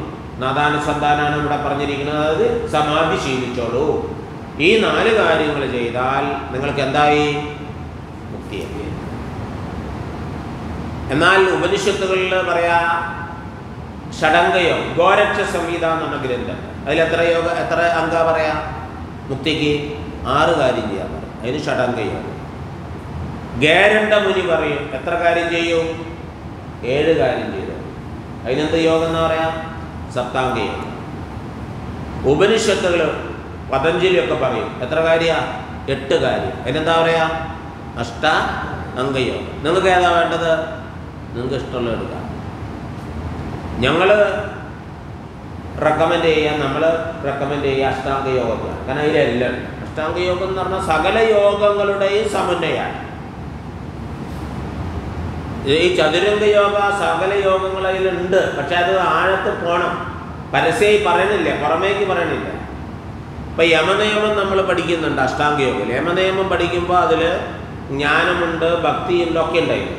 കാരണം ജപം വേണം അത് ഭക്തിയാണ്. ഈശ്വരനെ സമർപ്പിക്കണം ഭക്തിയാണ്. സത്യം പറയുന്നുണ്ടെന്ന് അല്ലെങ്കിൽ സത്യത്തെ പറ്റി പറയണ്ട അത് ജ്ഞാനമാണ്. അപ്പോൾ അഷ്ടാംഗ യോഗത്തിലെ എല്ലാ യോഗവും ഉണ്ട്. അതുകൊണ്ട് നമ്മൾ റെക്കമെൻഡ് ചെയ്തതിനാണ് അഷ്ടാംഗ യോഗ. അപ്പം നിങ്ങൾക്ക് തോന്നുന്നത് അത് വേണ്ട ഇത് മതി ദിവസം കുറച്ച് യോഗാസനം പ്രാണായാമം നാദാനുസന്ധാനം മതി എന്ന് വെച്ചാൽ നിങ്ങൾക്കത് മതി. കേൾക്കുന്നുണ്ടോ? പക്ഷേ ഈ ഗ്രന്ഥം എടുക്കുമ്പോൾ സ്വാത്മാരാമ മുനി പ്രാഥമികമായ സൈദ്ധാന്തിക അറിവ് ലഭിച്ചവർക്ക് വേണ്ടി എഴുതുന്നതാണിതൊക്കെ ശ്രദ്ധിക്കരുത്.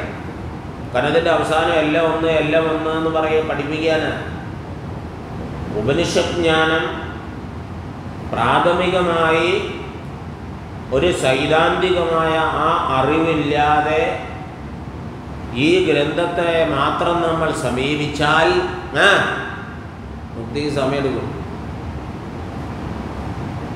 അപ്പൊ സൈദ്ധാന്തിക അറിവിന് എന്ത് വേണം? ജ്ഞാനവും യോഗവും സമന്വയിക്കണം. യോഗം മാത്രം പോരാ.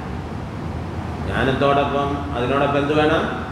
ജ്ഞാനം വേണം. അത് വീണ്ടും വീണ്ടും ആവർത്തിക്കുന്നത് അതിന് ഉപനിഷത്തുകൾ ഭഗവത്ഗീത പോലുള്ള ഗ്രന്ഥങ്ങൾ പഠിക്കണം. നിർബന്ധമാണ് ഒരു ഹടയോഗ പ്രതീതി വെച്ചിട്ട് യോഗാസനം പറഞ്ഞ് നടന്നാൽ പോരാന്ന്. നമുക്ക് പഠിച്ചേ പറ്റുള്ളൂ. ഇവിടെ നമ്മൾ കഴിയുന്ന രീതിയിൽ ആ നോളേജിനെ നമ്മൾ സമന്വയിപ്പിക്കുന്നുണ്ട്. കേൾക്കുന്നുണ്ടോ? പിന്നെ അത്യാവശ്യം നിങ്ങൾ മഹാത്മാക്കളുടെ ക്ലാസ്സുകൾ കേൾക്കുക നല്ല ആചാര്യന്മാരുടെ യൂട്യൂബുകൾ ഉണ്ട് എഴുതി വെച്ചതുണ്ട്. മുമ്പ് എഴുതിയ തിരുമാനന്ദ സ്വാമിയെ പോലുള്ള ബാലകൃഷ്ണൻ ജി ബാലകൃഷ്ണൻ നായരെ പോലുള്ള ആളുകളുടെ ഒരുപാട് ഒരുപാട് കാസറ്റുകളുണ്ട്. ആധുനികരായ പേര് എല്ലാം പറയുന്നില്ല. ആരെങ്കിലും ഒന്ന് പറയുമ്പോൾ ഇനി അത് പ്രശ്നമാവണ്ട. ഒരുപാട് സന്യാസി വര്യന്മാരുണ്ട് ഈ നോളജ് ഇപ്പം ആധുനികമായിട്ട് പറയുന്ന അത് ഓടിക്കല്ല. ഏതിന്റെ പേര്? ആചാര്യന്മാർ ആചാര്യന്മാർ കേരളത്തിൽ അതിന്റെ പിന്നെ തലതൊട്ടപ്പന്മാർ ഒരുപാടുണ്ട്. ബോധാനന്ദ സ്വാമി അധ്യാത്മാൻ സ്വാമികൾ ചിദാനന്ദപുരി സ്വാമികൾ ഇവരൊക്കെ വേദാന്ത പഠനത്തിന്റെ അങ്ങേയറ്റം ഗീതയും മാത്രം പഠിപ്പിച്ചിട്ടുണ്ട്. ജി ബാലകൃഷ്ണൻ ഇപ്പം ജീവിച്ചിരിക്കുന്നില്ല പക്ഷെ പഴയ നെച്ചൂർ വെങ്കട്ടരമണൻ. വെങ്കട്ടരാമൻ. ഇവരൊക്കെ ടോക്കുകൾ കേൾക്കുക. വെറുതെ എല്ലാവരും പോയി കേൾക്കണ്ട. ശ്രദ്ധിക്കുന്നുണ്ടോ? എല്ലാവരെയും ടോക്ക് കേൾക്കുമ്പോൾ എന്ന് വെച്ചാൽ നമ്മളെ കൺഫ്യൂഷൻ ആക്കണവർ. എല്ലാവരും പച്ചയിൽ ആത്മജ്ഞാനത്തിന്റെ മഹിമയൊന്നും അങ്ങോട്ട് പറയില്ല. അത് ബാലകൃഷ്ണൻ മാത്രം അത് പച്ചയെ പറയുന്നത് വെങ്കട്ടരൻ സാർ നച്ചൂരൊക്കെ ചിലവരിങ്ങനെ അങ്ങനെ എന്താണ്? മിഠായി തിന്നാൻ കഷായം കുടിക്കാൻ ആദ്യം മിഠായി കൊടുക്കണായിരി. കഷായം കുടിക്കാൻ എന്ത് കൊടുക്കും? മധുരം കൊടുക്കും. മധുരത്തെപ്പെട്ട് കിടക്കണവരാ അധികം നമ്മളിങ്ങനെ രസിപ്പിക്കുക എന്നുള്ളൊരു ചിന്തയിൽ പോയിട്ട് തത്വത്തിന് ഊന്നലിലേക്ക് പോകൽ കുറവാണ്. തത്വത്തിന് ഊന്നിയ ആളുകൾക്ക് രസിക്കാൻ പറ്റില്ല. അപ്പം ഞങ്ങൾ ഊന്നണ്ട നമ്മൾ കഷായം കുടിച്ചില്ലെങ്കിൽ വേണ്ടില്ല മധുരം കഴിച്ചോട്ടെ കഷായം തോന്നിയ സമയത്ത് കുടിച്ചോട്ടെ എന്നുള്ള രീതിയിൽ ടോക്കുകൾ പോയി പോകുന്നുണ്ട്. ആളുകളെ രസിപ്പിക്കുന്ന രീതി. അത് അത് ഉള്ളിൽ തട്ടി പരസ്യമായി ആത്മാവിന്റെ മഹിമ. അത് ഗ്രന്ഥങ്ങൾ പഠിക്കണം. ഇപ്പം ചിദാനന്ദ സ്വാമിയുടെ കടോപനിഷത്ത് അങ്ങനെ ഉപനിഷത്തുകൾ ഒരുപാട്. അപ്പോൾ അവരുടെ അല്ലെങ്കിൽ അവരെ പ്രഭാഷണം മാത്രം കേൾക്കാൻ പോയാൽ അത് കുറേ സാമൂഹ്യ പ്രശ്നങ്ങളും കാര്യങ്ങളായിട്ട് അതിലിങ്ങനെ പോകും പറയാം. അത് ആവശ്യമാണ്. പക്ഷെ ഗ്രന്ഥത്തെ അധികരിച്ച് അവരെ ഡോക്ടർ വരും. അത് നന്നായി കേൾക്കാം അവിടെ അവർ ആ ഗ്രന്ഥത്തിൽ തന്നെ ഊന്നിയിട്ടേ പോകുള്ളൂ കേൾക്കുന്നുണ്ടോ? അത് നമുക്ക് ആവശ്യമുള്ള തത്വം ആത്മജ്ഞാനം അവിടെ നന്നായിട്ട് നമുക്ക് പിടിച്ചെടുക്കാൻ പറ്റും. ഇപ്പം നിങ്ങൾ കേൾക്കേണ്ട ഒരു സാധനം ഇപ്പം ഞാൻ എനിക്ക് പറയാനുള്ളത് ജി ബാലകൃഷ്ണൻ നായരുടെ ആത്മോപദേശ ശത ശതകം. അതെല്ലാവരും ഫുള്ളായിട്ടൊന്ന് കേൾക്കണം. ആത്മോപദേശ ശതകത്തിന്റെ അത് യൂട്യൂബിലെടുത്താൽ കിട്ടും. അത് കേട്ടാൽ എന്താണ് ഈ ആത്മാവ് എന്നുള്ളതിനെ കുറിച്ച് പിന്നെ നിങ്ങൾക്ക് വലിയ സംശയമൊന്നും ഉണ്ടാവില്ല.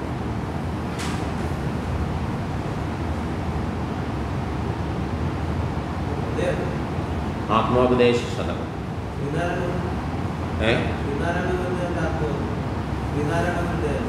ശ്രീനാരായണ ഗുരുവിന്റെ ആത്മോപദേശം എന്ന ഗ്രന്ഥത്തെ ആസ്പദമാക്കി പ്രൊഫസർ ജി ബാലകൃഷ്ണൻ നായർ നടത്തിയിട്ടുള്ള ടോക്ക്.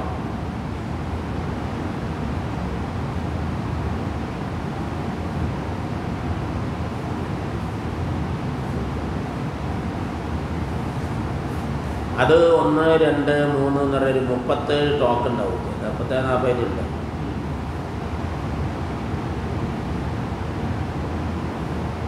അത് നിങ്ങൾ കേൾക്കുക. എന്നിട്ട് യോഗ അഭ്യസിക്കുക. വേറെ ഒന്നും വേണ്ട. ഇനി ഒരു ക്ലാസ് കേൾക്കണ്ടെന്ന് ഞാൻ പറയാം.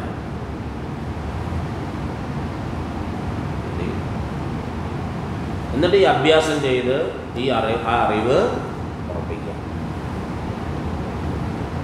കാരണം വേറെ ഒന്നും പറയാനില്ല. അതേമാതിരി ഇപ്പോൾ നൊച്ചൂര് വെങ്കട്ടരാമൻ എന്ന് പറഞ്ഞ അല്ലേ ഒരു പ്രഭാഷകനില്ലേ? അദ്ദേഹം എന്ത് പറയുമ്പോഴും അവസാനം ആത്മാവിലേക്ക് അതിനെ ഘടിപ്പിക്കും. അങ്ങനെ വരണം. അല്ലാതെ വരുമ്പോഴുള്ള കുഴപ്പമെന്ന് വെച്ചാൽ നമ്മൾ ആ ഫോക്കസിങ് പോയി പോകും. ഇതിൽ ഫോക്കസിങ് നിർബന്ധമാണ്. ആത്മാവിനെ കുറിച്ചുള്ള ആ ഫോക്കസിങ് അത് നമുക്ക് ഈ ആത്മാപദേശം കേൾക്കും. എന്നിട്ട് നമുക്ക് പിന്നെ പറയാം. പിന്നെ എല്ലാവർക്കും നിങ്ങളെ നിങ്ങളറിയാൻ നിങ്ങൾ ഇഷ്ടപ്പെടുന്ന ആചാര്യന്മാരുണ്ടാവില്ലേ? അത് ആചാര്യന്മാരുടെ ക്ലാസ്സുകൾ സ്ഥിരമായിട്ടുണ്ടോ കേൾക്കണം. ഉണ്ടാവും ഓരോരുത്തർക്ക് ഉള്ളിൽ തട്ടിയ ചില ആഗ്രഹ ആളുകളുണ്ടാവും. അതും കേൾക്കാം. എന്നിട്ട് അഭ്യാസമാണ് മുഖ്യം. അത് അതിൽ വെള്ളം ചേർക്കണ്ട അടുത്ത. വാസനാസ് കുംഭകാസ് പിന്നെ ചിത്രം വിചിത്രമായ വ്യത്യസ്ത തരത്തിലുള്ള അഭ്യാസങ്ങൾ ഏതൊക്കെയാണ് മുദ്രകൾ നാദാനുസന്ധാനം. This is the sequence of hatha yoga practice. ഓർമ്മിച്ചിട്ട് അപ്പം ചതുരംഗ യോഗം വൃത്തിയായിട്ട് പഠിച്ചുകൂടാ. ആസനം പ്രാണായാമം മുദ്ര തുടങ്ങിയ ചില അഭ്യാസങ്ങൾ മുദ്രകൾ പിന്നെ നാദാനുസന്ധാനം എന്ന് പറഞ്ഞാൽ സമാധി പരിശീലനം ഓക്കെ. ഇനി അൻപത്തിയേഴ്. ബ്രഹ്മചാരീമിതാഹാരി ത്യാഗീ അബ്ധാധൂർധം ഭവേ സിദ്ധോ. നാത്ര കാര്യവിചാരണ. ഇത് പറയാണ്. ബ്രഹ്മചാരി. ആരാ ബ്രഹ്മചാരി? വൺ ഹു പ്രാക്ടീസ് സെലിബസ് ബ്രഹ്മചാരി എന്ന് പറഞ്ഞാൽ ബ്രഹ്മത്തിൽ ചലിക്കുന്നവനാണ് ബ്രഹ്മത്തിലേക്ക് അല്ലെങ്കിൽ ബ്രഹ്മത്തെ ചാരി നിൽക്കുന്ന ആചാര്യമാണ് എപ്പോഴും ബ്രഹ്മത്തെ ചാരി നിന്നോളെ വേണമെങ്കിൽ. അത് പഠന കാലഘട്ടമാണ് ആ പഠന കാലഘട്ടത്തിന്റെ പ്രത്യേകത അവർ ബ്രഹ്മചാരികളായിരിക്കും. അല്ലേ? ബ്രഹ്മചാരികളായിരിക്കും എന്ന് പറഞ്ഞാൽ അവിടെ സെലിബസ് അനുഷ്ഠിക്കുന്നവരുമായിരിക്കും ശ്രദ്ധിക്കുന്നുണ്ടോ? ഈ സെലിബസി ഒരു പ്രധാന ഘടക നോളേജിൽ പഴയ കാലത്ത് ഒരു വിദ്യ അത് കളരിയാവട്ടെ അല്ലെങ്കിൽ സർക്കസിൽ അഭ്യാസങ്ങളാവട്ടെ ഈ അഭ്യാസങ്ങൾ മുഴുവൻ ശുക്ലം വയ്ക്കുന്നതിന് മുമ്പേ പഠിപ്പിക്കും. കേൾക്കുന്നുണ്ട്? അതിനകത്ത് പ്രാധാന്യമുണ്ട് ഈ ഒരു എനർജി നഷ്ടപ്പെടുമ്പോൾ നമ്മൾ വിചാരിച്ച ഫലം വിദ്യ അഭ്യാസത്തിൽ കിട്ടില്ല ഏത് വിദ്യ?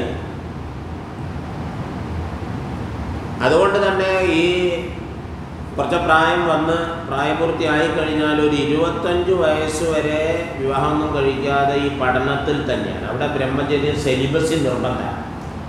സെലിബസി എന്നുള്ളത് നമ്മുടെ ഒരു തുള്ളി ശുക്ലത്തിൽ നാല് തുള്ളി രക്തം അങ്ങനെയാണ് കണക്കൊക്കെ. ഉണ്ട് അപ്പം അത് ബ്രെയിനിലുള്ള ഓജസ് നഷ്ടപ്പെടുത്തുന്ന ഏറ്റവും വലിയ സാധനമാണ് ഈ ശുക്ലനഷ്ടം രേതസ് നഷ്ടം അതുകൊണ്ട് ബ്രഹ്മചര്യത്തിന് ഈ സ്പിരിച്വാലിറ്റിയിൽ വലിയ പ്രാധാന്യം.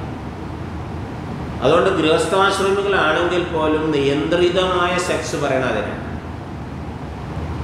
അതിനാണ് ശബരിമലയിൽ നാൽപ്പത്തൊന്ന് ദിവസം പൂർണ വ്രതവും ഈ ബ്രഹ്മചാരിയൊക്കെ പറയുന്നത്. അപ്പം ബ്രഹ്മചര്യം എന്ന് പറഞ്ഞാൽ കല്യാണം കഴിക്കാതിരിക്കൽ മാത്രമല്ല നമുക്കറിയാം. പക്ഷേ കല്യാണം കഴിക്കാതിരിക്കലിന് ഒരു പ്രാ വ്യക്തി ഒരു ഒരു പ്രാധാന്യം ഇല്ല എന്ന് ചിന്തിച്ച് കളയരുത്. ശബരിമല ലക്ഷ്യമൊക്കെ വന്നപ്പോൾ ആ അതെന്തുവാ? അതിലെന്താണ്? ബ്രഹ്മചാരി എന്ന് പറഞ്ഞാൽ കല്യാണം കഴിക്കാതിരിക്കലല്ല പെണ്ണുങ്ങളെ കാണാതിരിക്കലല്ല ആണുങ്ങളെ കാണാതിരിക്കലല്ല എന്നൊക്കെ പറഞ്ഞ് അങ്ങോട്ടും ഇങ്ങോട്ടും നമ്മൾ അടിയുണ്ടാക്കിയിരുന്നല്ലോ. ഇത് വിവരമില്ല എന്നില്ല ബ്രഹ്മചര്യ എന്ന് പറഞ്ഞ സാധനം എന്താണ് ഉപനിഷത്തുകൾ ഒരുവിധം എല്ലാ ഉപനിഷത്തുകളിലും വിവാഹവുമായി സ്ത്രീ പുരുഷ ബന്ധവുമായി ബന്ധപ്പെട്ടിട്ട് എഴുതി വെച്ചിട്ടുണ്ട്. അപ്പം അത് നിർബന്ധമാണ് ആ നിയന്ത്രണം. സെലിബസി എന്നുള്ളത് കൂടുതൽ രേതസ് ശുക്ലം നഷ്ടപ്പെടുത്തുന്ന ആളുകൾക്ക് ഓജസ് കുറയും. ഓജസ് കുറയുന്നവർക്ക് വെളിപാട് വരില്ല. സംശയിക്കേണ്ട. ആ ഒരു ഉൾവിളി വരാനുണ്ട് നമുക്ക്. ഒന്നേ ഉള്ളൂ എന്നുള്ള ശ്രദ്ധിക്കുന്നുണ്ടോ പറയണത്? എപ്പോഴാണ് ത്രിപുടി മുറി മുടിയുക? ഇപ്പൊ ഞാൻ അറിയുന്ന ഞാൻ അറിയപ്പെടുന്ന വസ്തു ഇപ്പൊ ബ്രഹ്മം അറിയപ്പെടുന്ന വസ്തുവായിട്ട് നമ്മൾ കാണാം. ബ്രഹ്മത്തെ അറിയണം. ആർക്കറിയണം എനിക്കറിയണം അപ്പൊ ഞാൻ അറിയാൻ ശ്രമിക്കുന്നവനാണ്. അല്ലേ? ബ്രഹ്മം എന്നുള്ളത് അറിയാനുള്ള വസ്തുവാണ്. അതിന്റെ ഇടയിൽ എന്റെ ഉള്ളിൽ ബ്രഹ്മം എന്ന് പറയുമ്പോൾ ഒരു ചിത്രം എന്റെ ഉള്ളിൽ ഒരു അറിവ് എന്റെ ഉള്ളിലുണ്ട്. ഈ മൂന്നും ഇല്ലാതായി മാറുക എന്ന് പറഞ്ഞാൽ അതിന്റെ അടുത്ത് അത് തിരിച്ചറിവിലേക്ക് പോകുക അപ്പം ഞാനും അറിയാനുള്ള വസ്തുവും അറിവും ഒന്നാണ് എന്നൊരു തിരിച്ചറിവ് വെളിപാട് വരണമെങ്കിൽ അതൊരു ഉൾവിളിയായിട്ട് വരേണ്ടതാണ്. ആ ഉൾവിളിയായിട്ട് വരണമെങ്കിൽ നല്ല ഓജസ് നിർബന്ധമാണ് അതിന് ബ്രെയിനിൽ കൂടുതലായിട്ട് വൈവാഹിക ബന്ധം അല്ലെങ്കിൽ കൂടുതൽ രേതസ് നഷ്ടപ്പെടുക ശുക്ലം നഷ്ടപ്പെടുക എന്നുള്ളത് ഇതിനെ ഇല്ലാതാക്കുന്നതാണ്. ഒരു സംശയം വേണ്ട. കേൾക്കുന്നുണ്ടോ? അപ്പോൾ ഇവിടെ ബ്രഹ്മചാരി എന്ന് പറയുമ്പോൾ വൺ ഹോ പ്രാക്ടീസ് സെലിബസി തന്നെ എടുക്കണം സെലിബസ് പ്രാക്ടീസ് ചെയ്യുന്നവർ പിന്നെയോ? മിതാഹാരി. പിന്നെ ആഹാരം എന്തായിരിക്കണം? മിതാഹാരി നമ്മളെ ശാസ്ത്രത്തിൽ നമ്മുടെ ഋഷിമാർ ഏറ്റവും കൂടുതൽ ഇപ്പം യമം പറഞ്ഞിട്ട് പറയും മിതാഹാരമാണ് അതിൽ ഏറ്റവും പ്രധാനം. സത്യത്തെക്കാൾ അഹിംസയേക്കാൾ പ്രാധാന്യം മിതാഹാരാണ് എന്നാണ് ഋഷി പറയുന്നത്. യമത്തിൽ ഏറ്റവും പ്രധാനം മിതാഹാരമാണ്. ശ്രദ്ധിക്കുന്നുണ്ടോ പറയുന്നത്? പക്ഷേ നമ്മളാരും അതിനത്ര പ്രാധാന്യം കൊടുക്കാറില്ല. ഇതൊക്കെ ചെറുപ്പത്തിൽ ശീലിക്കേണ്ട ഒരു കാര്യമായിരുന്നു. നമ്മൾ ഈ ഗ്രന്ഥം മുഴുവടുത്ത് വലിച്ചെറിഞ്ഞു. മിതാഹാരത്തിന്റെ പ്രസക്തി കുടുംബങ്ങളിൽ നിന്ന് പറ്റവിട്ടു പോകും ശ്രദ്ധിക്കുന്നുണ്ട്? ഇരുത്തി തീറ്റിപ്പിക്കുക ചെയ്യാ അച്ഛനമ്മമാർ നിങ്ങൾ നിങ്ങളെ നിരീക്ഷിച്ചാൽ കാണാൻ പറ്റും. എനിക്ക് എന്നെ നിരീക്ഷിച്ചാൽ അറിയാൻ പറ്റും. ഞാൻ പറയാറുണ്ടല്ലോ നിങ്ങളോട് നമ്മളൊക്കെ ചെറുപ്പത്തിൽ ഇങ്ങനെ വാരി വലിച്ച് നിന്നു. ശ്വാസം മുട്ടുമ്പോഴേ തൃപ്തി വരും. ആ ശീലം. അപ്പം അത് വീട്ടിൽ നിയന്ത്രിതമായ രീതിയിൽ ഭക്ഷണം തരാനും അത് ആവശ്യമുള്ളത് തരാനും ഇതൊന്നും പഴയ കാലത്തില്ല ഇപ്പോഴും ഇല്ല. അപ്പം മിതാഹാരം എന്നുള്ളത് അസുഖം വരാനുള്ള ഏറ്റവും പ്രധാന കാരണം ഈ മിതാഹാര ലംഘനമാണ് നമ്മൾ പലപ്പോഴും പറയും ഭക്ഷണം ഇറച്ചി കഴിച്ചിട്ടാണ് മീൻ കഴിച്ചിട്ടാണ് മസാല കൂട്ടിയിട്ട്. മസാലയെക്കാളും ഇറച്ചിയേക്കാളും ചോറത്തിനേക്കാളും ഒക്കെ ഏറ്റവും പ്രധാനം രോഗം ഉണ്ടാക്കുന്നത് ആരാണ്? അമിതമായ ഭക്ഷണമാണ്. പക്ഷെ എന്ത് ചെയ്യാനാ? നമുക്ക് ഭക്ഷണം കഴിച്ച് തൃപ്തി വരണമെങ്കിൽ ആ നമുക്ക് ശ്വാസം എനിക്ക് നിങ്ങളെ കാര്യം എനിക്കറിയില്ല. ഞാൻ അന്ന് ഒന്നുമില്ല കണ്ടമാനം കഴിക്കും. യോഗ നന്നായി ചെയ്യുന്നത് കൊണ്ട് നമ്മൾ പിടിച്ചു നിൽക്കുന്നു മാത്രം. ആ ശൈശവത്തിൽ കിട്ടി എപ്പോഴെങ്കിലൊക്കെ നമ്മൾ മിതാഹാരത്തിലേക്ക് പോകും അന്ന് നല്ല സുഖമായിരിക്കും. എത്ര ശ്രമിച്ചാലും ശൈശവത്തിൽ ഒരു ഏഴ് പത്ത് വയസ്സിന് മുമ്പ് അല്ലെങ്കിൽ പത്ത് പതിനഞ്ച് വയസ്സ് വരെ നമ്മളിങ്ങനെ ശ്വാസം മുട്ടി തിന്ന് അതിൽ മാത്രം തൃപ്തി കണ്ടെത്തിയ നമുക്ക് ഇതെത്ര പഠിച്ചാലും നമുക്ക് മിതാഹാരത്തിലേക്ക് വരാൻ വലിയ പ്രയാസമാണ്. ഇതൊക്കെ ശൈശവത്തിൽ ഉണ്ടാക്കേണ്ടതാണ് പക്ഷേ ആ കൾച്ചർ നമുക്ക് നഷ്ടപ്പെട്ടു പോകും. ഒരു വിവാഹ സദ്യക്കൊക്കെ പോയാൽ ഒരു പന്തിയിലിരുന്ന ഒരാളിരുന്ന് നാല് ടീം അവിടെ നാല് തവണ അവിടെ ഇരുന്നാലും ഇവിടെ നിന്ന് എഴുന്നേൽക്കാത്ത ടീമൊക്കെ ആയിരുന്നു ഞങ്ങളൊക്കെ. അങ്ങനെയുള്ള ആളുകളുണ്ട് എന്ത് ചെയ്യാനാ ഇത് പറഞ്ഞ ഒരാൾ വേണ്ടത്? അപ്പൊ സാറ് ഇപ്പൊ പറഞ്ഞു തന്നല്ലോ പക്ഷെ ഇപ്പൊ പറഞ്ഞാലും നമ്മുടെ ശീലം അങ്ങോട്ട് മാറ്റി കിട്ടുക എന്ന് പറഞ്ഞാലേ അല്ലെങ്കിൽ പിന്നെ നമുക്ക് മരണഭയവും അതേപോലെ തന്നെ എനിക്ക് നല്ല ആരോഗ്യത്തോടു കൂടി നടക്കണം എന്നൊക്കെ ഒരു തോന്നലൊക്കെ വരണം അപ്പോഴൊക്കെ നമ്മൾ നിയന്ത്രിക്കും. പിന്നെ നമ്മളൊക്കെ ഇങ്ങനെ പിടിച്ചു നിന്ന് ഇത്രയും കാലം ഇങ്ങനെ പോയി കിട്ടിയത് യോഗ നന്നായി ചെയ്യും. യോഗ നന്നായി ചെയ്യുമ്പോൾ പ്രത്യേകിച്ച് കത്തിപ്പോവുകയൊക്കെ കഴിക്കണമൊക്കെ ഒരു വക. അങ്ങനെയുണ്ട്. മിതാഹാരം യോഗ ആരംഭത്തിലാണ് ഋഷി റെക്കമെൻഡ് ചെയ്യുന്നത്. ശ്രദ്ധിക്കുക. നന്നായിട്ട് യോഗ ചെയ്യുമ്പോൾ മിതാഹാര യമത്തിലില്ല. പതഞ്ജലി പറയുന്ന യമത്തിൽ എന്തില്ല? മിതാഹാരമൊന്നുമില്ല. അത് യോഗിമാർ ഒന്നും കൂടി പ്രാപ്തരായ യോഗിമാർ യോഗിമാർക്ക് ആഹാരം കൂടിയാലും കുറഞ്ഞാലും ഒന്നും പ്രശ്നമല്ല ഒന്ന് കൂടുതൽ അത് കത്തിപ്പോകും. എങ്കിൽ അത് രണ്ട് നേരമൊക്കെ ആണെങ്കിൽ കുഴപ്പമില്ല. ഇപ്പോൾ ശിവാനന്ദാശ്രമത്തിലൊക്കെ യോഗ ചെയ്യാൻ പോയാൽ പത്ത് മണിക്കൊരു ചോറ. നല്ല വെട്ടി മാറുമല്ല പക്ഷെ പിന്നെ വൈകുന്നേരം എന്തെങ്കിലും വേണ്ടി ചപ്പാത്തി രണ്ട് നേരം കഴിക്കും. നമ്മളിപ്പോൾ ഈ മൂന്ന് നേരം എന്താ നമ്മളെ മൂന്ന് നേരമല്ല ഇടയിൽ കഴിക്കുമ്പോൾ കണ്ടമാനം കഴിക്കും. അസുഖം ഉറപ്പാണ് അപ്പൊ ഇത് ഒക്കെ ഞാൻ പറഞ്ഞു വരുന്നത് ഈ മിതാഹാരത്തിന്റെ പ്രാധാന്യം ശൈശവത്തിലെ നമ്മളെ ബോധ്യപ്പെടുത്തണമായിരുന്നു. കാരണം നമ്മളെ കൾച്ചറിൽ നമ്മൾ പൂർണമായിട്ട് പുറത്തു വേണ്ടി തോന്നുന്നു ഈ ബുക്കൊക്കെ ആരും കാണണ്ടേ? യമനിയമങ്ങളിൽ സത്യം അഹിംസ ബ്രഹ്മചര്യം പറയുന്നിടത്ത് മിതാഹാരം പറഞ്ഞെന്നും യമങ്ങളിൽ സത്യത്തെക്കാൾ അഹിംസയേക്കാൾ പ്രാധാന്യം മിതാഹാരമാണെന്ന് കൂടി ഋഷി പറഞ്ഞു വെച്ചതാണ് അതിൽ ഏറ്റവും പ്രധാനം ഏതാണ്? യമത്തിൽ ഇതാണ് ഇത് പറഞ്ഞില്ല? പഠിപ്പിച്ചില്ല? ഇപ്പൊ ബ്രഹ്മചാരി മിതാഹാരി ത്യാഗി. ഇനി ആരാണ്? ത്യാഗി ത്യജിക്കുന്നവൻ. യോഗപരായണ യോഗപരായണൻ ഡിവോട്ടഡ് ടു പ്രാക്ടീസ് യോഗ യോഗ പരിശീലനത്തിന് സമർപ്പിച്ച് സമർപ്പിതൻ. യോഗപരായണൻ. Devoted to practice of yoga മിതാഹാരിയാവണം ബ്രഹ്മചാരിയാവണം ത്യാഗി യോഗപരായണനാവണം. അവൻ അബ്ദ അബ്ദാൻ മീൻ ഇൻ വൺ ഇയർ. ഊർജം നോ.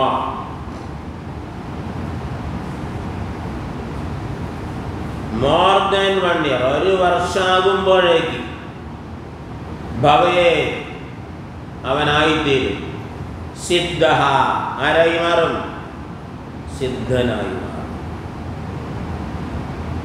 സിദ്ധൻ എന്ന് പറഞ്ഞാൽ എന്താ? അക്കംപ്ലിഷ്ഡ് അവനതിൽ വിജയം ഒരു വർഷം മോർ ദാൻ വൺ ഇയർ കേൾക്കുന്നുണ്ടോ? അപ്പം more than one accomplish in more than one year എന്ന് പറഞ്ഞാൽ ഏകദേശം ഒരു വർഷം കൊണ്ട് തന്നെ. ഒരു വർഷത്തിൽ കൂടുതലല്ലാതെ തന്നെ കാലം കൊണ്ട് അവൻ ആരായി മാറും? സിദ്ധനായി. എന്ത് എന്തൊക്കെ ചെയ്യുകയാണെങ്കിൽ ബ്രഹ്മചാരി ആയിരിക്കണം പിന്നെ മിതാഹാരി ആയിരിക്കണം ത്യാഗി മെന്റലി ഒക്കെ കുറച്ചങ്ങോട്ട് വൈരാഗ്യം വരണം ത്യജിക്കണമെങ്കിൽ വൈരാഗ്യം വരണം പിന്നെ യോഗപരായണനാകണം. അവനെന്ത് ചെയ്യണം നിരന്തരമായി യോഗ അഭ്യസിക്കണം. ഈ പറഞ്ഞ നാല് കാര്യമാണ് ഇവിടെ പറയാം ആസനം പ്രാണായാമം മുദ്രകൾ സമാധി. ഇത് ശീലിച്ചാൽ ഒരു വർഷമാകുമ്പോഴേക്ക് അവൻ ആരായി മാറും? സിദ്ധൻ ഹി വിൽ സക്സീഡ് അവൻ സത്യം അറിയും. ഇന്ന അത്ര കാര്യ വിചാരണ ഇക്കാര്യത്തിൽ വേറെ ചിന്ത വേണ്ടാന്ന്. അത്ര എന്ന് പറഞ്ഞാൽ ഇന്ന നോ ആവശ്യമില്ല അത്ര എന്ന് പറഞ്ഞാൽ ഹിയർ ഇവിടെ ഇൻ ദിസ് ഇക്കാര്യത്തിൽ. കാര്യ mean should bring in to വിചാരണ എനി തോട്ട് ഇക്കാര്യത്തിൽ വേറെ ചർച്ച വേണ്ട എന്ന് പറഞ്ഞാൽ ഇക്കാര്യത്തിൽ സംശയമില്ല. എക്കാര്യത്തിൽ സിദ്ധനാവും എന്നുള്ള കാര്യം. പിന്നെ ചർച്ച വേണ്ട. In no need of any other thought എന്നാണ് പറഞ്ഞത്. There is no doubt in it ഇതിൽ യാതൊരു സംശയം ഇനി പറയുന്നത് അൻപത്തെട്ട്. സുസ്നിഗ്ധ മധുരാഹാര ചതുരാ ചതുർത്ഥാർത്ഥ വിവർജിത ഉജ്യതേ ശിവസംപ്രീത്യൈ. മിതാഹാരസ ഉച്യതേ. ആ എന്താ മിതാഹാരം? അത് ഋഷി കൃത്യമായിട്ട് പറഞ്ഞു തരാം. ഇത് എല്ലാ പരീക്ഷക്കും ചോദിക്കുന്ന ചോദ്യമാണ്. ആയുഷിന്റെ പരീക്ഷക്കൊക്കെ ഇത് നിർബന്ധമായിട്ട് വരുന്നത് എന്താ മിതാഹാരം? എന്താ മിതാഹാരം? സുസ്നിഗ്ധ. സ്നിഗ്ധമായിരിക്കണം. സ്നിഗ്ധം എന്ന് പറഞ്ഞാൽ നല്ല മയമുള്ള ലുബ്രിക്കേറ്റഡ് ഫുഡ് മയമുള്ള സുസ്നിഗ്ധ വെൽ ലുബ്രിക്കേറ്റഡ് അതിന് സോ വെൽ ലുബ്രിക്കേറ്റഡ് മയമുള്ളതെന്ന് പറഞ്ഞാൽ അത്യാവശ്യം നെയ്യൊക്കെ ചേർത്ത് പഴയ കാലത്ത് അങ്ങനെയാണ് മധുരാഹാരം. നല്ല മധുര. സ്വീറ്റ് ആയിരുന്നു മധുരം പറഞ്ഞാൽ പഞ്ചാര എന്നല്ല. സ്വീറ്റ് മധുരം. സ്വീറ്റ് ആഹാരം ഫുഡ് പിന്നെയോ ചതുർത്ഥാംശം. ചതുർത്ഥ അംശം. വൺ ഫോർത്ത് പാർട്ട് നാലിലൊന്ന് ഭാഗം. അതാണ് ചതുർത്ഥാംശം. നാലിൽ ഒരംശം. നാലിലൊരു ഭാഗം. വയറിന്റെ നാലിലൊരു ഭാഗം. വിവർജിത വിവർജിത മീൻ ഒഴിവാക്കാം നാലിലൊരു ഭാഗം. കാഭാഗം ഭക്ഷണം. കാഭാഗം വെള്ളം. കാഭാഗം വായു. കൊടുക്കുന്നുണ്ടോ അല്ല വെള്ളം ഭക്ഷണം വായു. പിന്നെ കാഭാഗം എന്ത് ചെയ്യണം? നാലിലൊരു ഭാഗം ഒഴിഞ്ഞു കിടക്കണം വയർ. അങ്ങനെയാണ് ചതുർത്ഥാംശ വൺ ഫോർത്ത് പാർട്ടീസ് വിവർജിത അവിടെ ഒഴിവാക്കിയാണ് ഭുജ്യതേ ശിവസംപ്രീത്യൈ ഭുജ്യതേ കൺസ്യൂംഡ് കഴിക്കണം. ഭുജിക്കണം. എങ്ങനെയാണ് കഴിക്കേണ്ടത്? ശിവസംപ്രീത്യൈ ശിവന്റെ പ്രീതിക്ക്. ശിവൻ എന്ന് പറഞ്ഞാൽ നമ്മുടെ ഉള്ളിലുള്ള ആ ഭഗവാന്റെ പ്രീതിക്ക്. സംപ്രീത്യൈ for the pleasure of the god inside നമ്മുടെ ഉള്ളിലൊരു ദേവനികൻ കേൾക്കുന്നുണ്ടോ? അതാണ് ശിവൻ. ഞാൻ ആ ഈശ്വര പ്രീതിക്കായിരിക്കണം കഴിക്കേണ്ടത് ശ്രദ്ധിക്കുന്നുണ്ടോ? മിതാഹാരസ ഉച്ചതേ. അതിനെ സ അതിനെ താൻ ഉച്ചതെ വിളിക്കപ്പെടുന്നു. എന്താ വിളിക്കപ്പെടുന്നത്? മിതാഹാരം. അതിനെയാണ് മിതാഹാരം എന്ന് വിളിക്കുന്നത്. അപ്പം മിതാഹാര ലക്ഷണങ്ങൾ എന്തൊക്കെയാണ് ഒന്ന് മിതാഹാരം എന്ന് പറഞ്ഞാൽ ഭക്ഷണം എന്തായിരിക്കണം? മയമുള്ളതായിരിക്കും. പിന്നെന്തായിരിക്കണം? മധുരമായിരിക്കും സ്വീറ്റായിരിക്കും പിന്നെന്തായിരിക്കണം? നാലിലൊരു അംശം വയറെപ്പോഴും ഒഴിവാക്കണം ചതുർത്ഥാംശം വിവാഹം പിന്നെയോ? നമ്മുടെ ഉള്ളിലുള്ള ഭഗവാൻ അല്ലെങ്കിൽ ഏത് ബന്ധമാണ് ഉള്ളിൽ എന്ന് പറയണ്ട. ഇവിടെ അങ്ങനെ പറയുമ്പോൾ നമ്മുടെ ഉള്ളിലുള്ള വൈശാനരൻ ആ, നമ്മുടെ ദഹന പ്രക്രിയ അല്ലേ അതിനൊക്കെ മാനിച്ചുകൊണ്ട് ആ ഭഗവാൻ നമ്മുടെ ഉള്ളിലൊരു ഈശ്വരൻ വസിക്കുന്നുണ്ട്. ആ ഈശ്വരന്റെ പ്രീതിക്കായി ഇത് ഈ നാല് കണ്ടീഷൻ ഉണ്ടോ? അതെന്താ? എന്ത് ആഹാരാണ്? ഇതാഹാരം ഓക്കെ അപ്പം ഇനി എന്താണ് വിതാഹാരം എന്ന് ചോദിച്ചാൽ പഠിച്ചു. കഴിഞ്ഞതും ഇതൊക്കെ ഒന്ന് കാണപ്പാടം പഠിച്ചു വെച്ചു സുസ്നിഗ്ധ മധുരാഹാരം ചതുർത്ഥാംശ വിവർജിത ഉജ്യതേ ശിവസംപ്രീത്യൈ മിതാഹാരസ ഉച്യതേ. ഇനി പറയാം അൻപത്തി ഒമ്പത് എന്തൊക്കെ ഒഴിവാക്കേണ്ടത് എന്ന് പറയാം. ഉതകാത്ത ഭക്ഷണം. അപത്യ ഭക്ഷണം. ചോദിക്കും ഇതൊക്കെ പരീക്ഷയ്ക്ക് ചോദിക്കുന്നതാണ് കേട്ടോ. എന്തൊക്കെയാണ് അപത്യ ഭക്ഷണങ്ങൾ which are the food non conducive food എന്ന് പറയും അപത്യം യോജിക്കാത്ത ഭക്ഷണങ്ങൾ നോക്കൂ കടു അമ്ല തീഷ്ണ ലവണ ഉഷ്ണ ഹരിതശോക സൗവീര തൈലവില സർഷഭ മദ്യമത്സ്യാൻ ആചാദി മാംസ ദതി തക്ര കുലത്തകോല പിന്യാഗഹിങ്വല ശൂനാദ്യമ പദ്യമാകു അപത്യമാകു അപത്യം എന്ന് വിളിക്കപ്പെടുന്ന ഭക്ഷണങ്ങൾ ഏതൊക്കെയാണ്? ഒന്ന് കടു. കടു ബിറ്റർ കയ്പുള്ള ഭക്ഷണം പാടില്ല. ബിറ്റർ ഫുഡ് അതിനെ കടു. അമ്ലം അസിഡിക് ഭക്ഷണം ഉപേക്ഷിക്കണം. ഓവറായിട്ട് നമ്മളൊക്കെ ഇപ്പോൾ കഴിക്കുന്ന ഭക്ഷണം എന്ത്? എന്ത് മാത്രമാണ് അസിഡിക്ക വേവിച്ചതൊക്കെ അസിഡിക്ക പാടില്ല എന്നാണ് അപത്യ ഭക്ഷണത്തിൽ പെട്ടതാണ്. ബിറ്റർ ഫുഡ് കടു കയ്പ് അസിഡി തീക്ഷണം തീക്ഷണം എന്ന് പറഞ്ഞാൽ നല്ല എരിവ്. തീക്ഷണമായ എരിവ് എന്നൊക്കെ പറയാം നമ്മൾ പഞ്ചൻ ഫുഡ് എന്ന് പറയും. P N G N P pungent food Theekshana ഭക്ഷണം പാടില്ല. ലവണം. സാൾട്ടി പാടില്ല. ഉപ്പ്. ഉഷ്ണം ഹോട്ട്. കണ്ടമാനം ചൂടിൽ ഭക്ഷണം കഴിക്കരുത്. ഒക്കെ അപത്യ ഭക്ഷണങ്ങൾ. ഹരിത. കണ്ടമാനം ഗ്രീൻ വെജിറ്റബിൾസ്. ലീഫി ഇലക്കറികളില്ല. ശാഖാമീൻ ലീഫി വെജിറ്റബിൾസാണ് ഓവറായിട്ട് പാടില്ല. ഓവറായിട്ട്. കാരണം അതിലൊക്കെ കണ്ടമാനം പൊട്ടാസ്യം പോലെ എന്തൊക്കെ അടങ്ങിയിട്ടുണ്ട്. ഹരിത ശോക.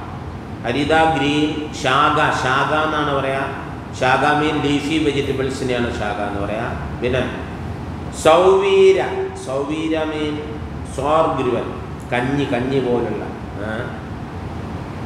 തൈല.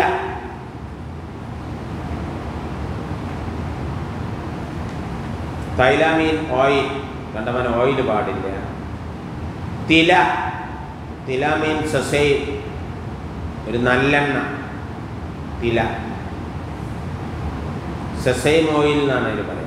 മസ്റ്റാർഡ് ഓയിൽ സെസൈൻ ഓയിലൊന്നും പാടില്ല ഓവറായി തില ഓയിൽ സെസൈം ഓയിൽ. സർഷഭ കടുക്. സർഷഭ കടുക്. മദ്യ വൈന് പാടില്ല. മത്സ്യാൻ ഫിഷസ് അക്കാരെ അടിവരിട്ട് അതിന്റെ മേലെങ്ങനെ അതിന്റെ അർത്ഥം വേണമെങ്കിൽ? മത്സ്യം പാടില്ല. ആജാതി. ആജാതി മീൻ ഗോട്ട ആട് ആട്. ആടാതി അതിന് ആടാതി ആട് മുതലായ. ആജാതി ഭക്ഷണങ്ങൾ പാടില്ല മാംസങ്ങൾ പാടില്ല. കേൾക്കുന്നുണ്ടോ? ദതി ദതി ആയുർവേദത്തിലൊന്നും നമ്മളെ കേട് കേട് തൈര് തൈര് റെക്കമെൻഡ് അപ്പോൾ വളരെ കുറച്ചൊക്കെ പറ്റും ഏ? തൈരും ഈ കൂടുതലായിട്ട് ഉപയോഗിച്ചു കഴിഞ്ഞാൽ അസിഡിറ്റി ആയിട്ടില്ല.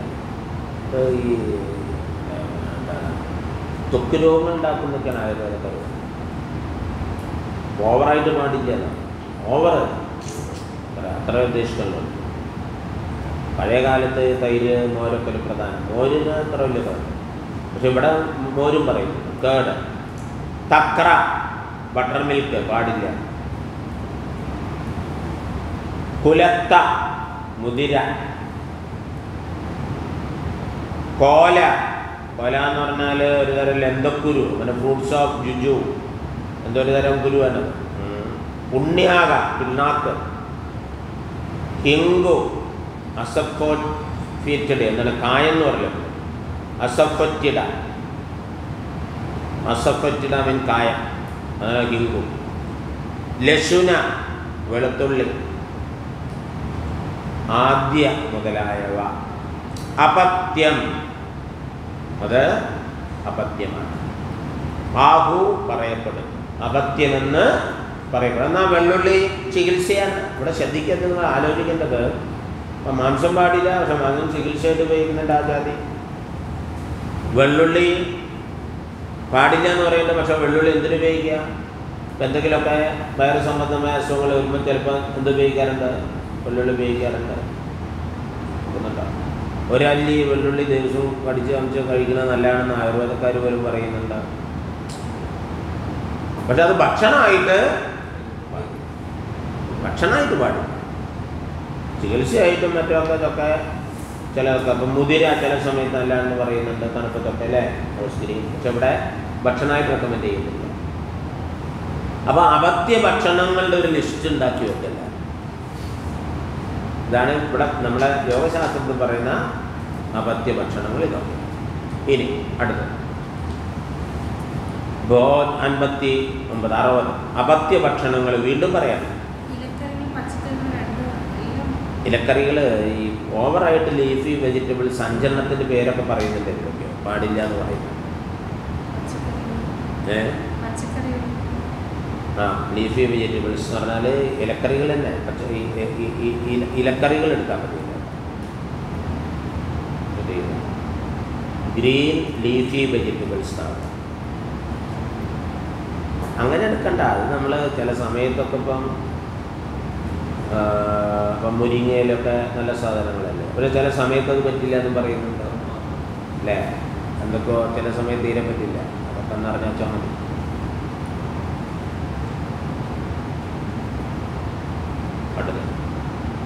എന്നാൽ ചില ചീരകൾ ചില ഇലകളൊക്കെ ഏറ്റവും നല്ലതാണ്. അത് കണ്ടെത്തിക്കൊള്ളാം ഭോജനമഹിതം വിദ്യാത് പുനരസ്യോഷ്ണീകൃതം രൂക്ഷം. അതിലവണ മമ്ലയുക്തം കഥനശ ശാഖോത്കടം വർജ്യം. ഭോജനം ഫുഡ് ഭോജനം ഭക്ഷണം. അഹിതം അഹിതമായത് അപത്യമായത് വിദ്യാത് അറിയേണ്ടതുണ്ട് അപദ്യമായ ഭക്ഷണത്തെ വിദ്യ മീൻ ഷുഡ് ബി അണ്ടർസ്റ്റുഡ് നിങ്ങൾ അറിയേണ്ടതുണ്ട് അറിയപ്പെടണം. പുനരഭിസ്യ. പുനരഭിസ്യ വീണ്ടും വീണ്ടും വീണ്ടും ഉഷ്ണീകൃതം ചൂടാക്കിയത്. വെക്കുന്നുണ്ട നമ്മൾ ഒന്ന് വേവിച്ച് പിന്നെ കുറച്ച് കഴിഞ്ഞാൽ പിന്നെ എന്ത് ചെയ്യും? ഒന്നുകൂടി ചൂടാക്കി കൊടുക്കും. തണുത്തു പോയി എന്നും പറഞ്ഞിട്ട് ഫ്രിഡ്ജിൽ വെക്കും പിന്നെയും ചൂടാക്കും. പാടില്ല. പുനരഭിസ്യ ഉഷ്ണീകൃതം. വീണ്ടും വീണ്ടും ചൂടാക്കിയ ഭക്ഷണങ്ങൾ പാടില്ല. അതിനാണ് പുനരസ്യോഷ്ണീകൃതം. പുനരസ്യ ഉഷ്ണീകൃതം. ഹോട്ട ഹീറ്റഡ് ആയിട്ടുള്ള പാടില്ല. രൂക്ഷം. ഡ്രൈ ഭക്ഷണങ്ങൾ പാടില്ല. അതിലവണം. കൂടുതൽ ഉപ്പുള്ള. ടൂ മച്ച് സാൽ അമ്ല അസിഡിക്ക് ആയിട്ടുള്ള പാടില്ല. മിക്സഡ് ആഡ് അല്ലേ അമിത എന്താണ്? അതിലവണ അമ്ലയുക്തം. അമ്ലയുക്തമായത് കൂടുതൽ അമ്ലങ്ങൾ അടങ്ങിയിട്ടുള്ളത് പാടില്ല. കഥശന മീൻ നോട്ട് ഈറ്റബിൾ കഴിക്കാൻ പാടില്ല. കഥശന ശാഖ. വീണ്ടും പറയാണ് ലീഫി വെജിറ്റബിൾസ് ഇലക്കറികൾ. ഉത്കടം നോട്ട് കണ്ടിസീവ് വർജ്യം. പ്രൊഹിബിറ്റഡ് അവ പ്രൊഹിബിറ്റഡ് ആണ്. ഈ പറഞ്ഞ ഭക്ഷണങ്ങളൊക്കെ പ്രൊഹിബിറ്റഡ് ആയുർവേദത്തിൽ ആറ് രസങ്ങളെ കുറിച്ച് പറയും. ഒന്ന് വേണമെങ്കിൽ ആറ് രസങ്ങൾ. ഒന്ന് കടു. നേരത്തെ നമ്മൾ പറയാം കടു ബിറ്റർ രസ. കടു. Bitter B I T T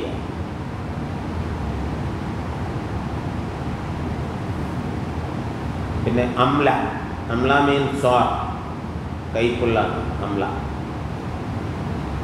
സ്വാർ പുളിയുള്ള അംല അല്ലേ? അംല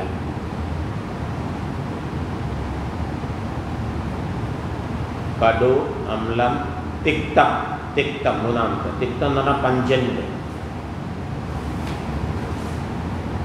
തീക്ഷ്ണമായ എരിവ് അതിനൊക്കെയാണ് തിക്തം ലവണം സാൾട്ട്. രസമാണ് അതൊക്കെ ലവണരസം തിക്തരസം അമ്ലരസം കടുരസം ലവണം സാൾട്ട്. മധുരം സ്വീറ്റ്. സ്വീറ്റ്. മധുരം. ആറാമത് കഷായം. കഷായം എന്നാൽ രൂക്ഷം കഠിനം. ആസ്ട്രിജന്റ് എന്ന് പറയും. കഷായം.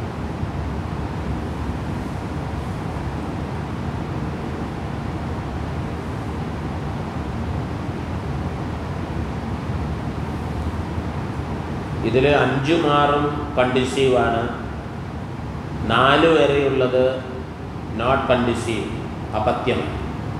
ഈ രസങ്ങൾ ആയുർവേദത്തിൽ പറയുന്ന ആറ് രസമാണ്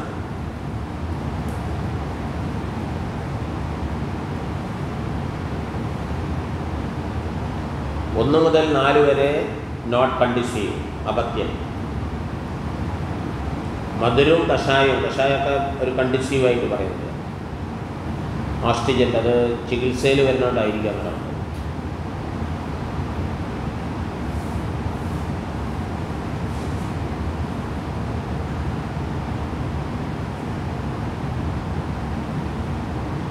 ഇനി ഒഴിവാക്കേണ്ട കാര്യങ്ങൾ.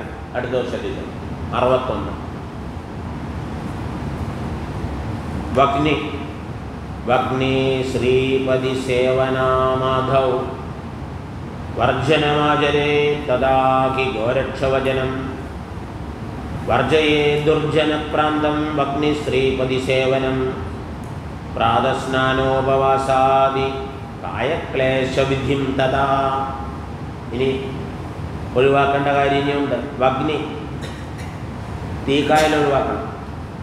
യോഗികൾക്ക് പറ്റിയല്ല അഗ്നി എന്നാ അഗ്നി ഫയർ ശ്രീ വിമൻ ശ്രീ സേവ ഒഴിവാക്കണം. പതി പതി മീൻ ലോങ് ജേണി സേവനം ഏറ്റെടുക്കുക പതിസേവനം മീൻസ് നീണ്ട യാത്ര ഏറ്റെടുക്കൽ പാടില്ല. പതിസേവനം പാടില്ല. പതി മീൻ ലോങ് ജേണി സേവനം അണ്ടർടേക്കിംഗ് ഏറ്റെടുക്കുക പതിസേവനം പാടില്ല. അണ്ടർടേക്കിംഗ് ലോങ് ജേണി യോഗികൾക്ക് പറഞ്ഞതല്ല.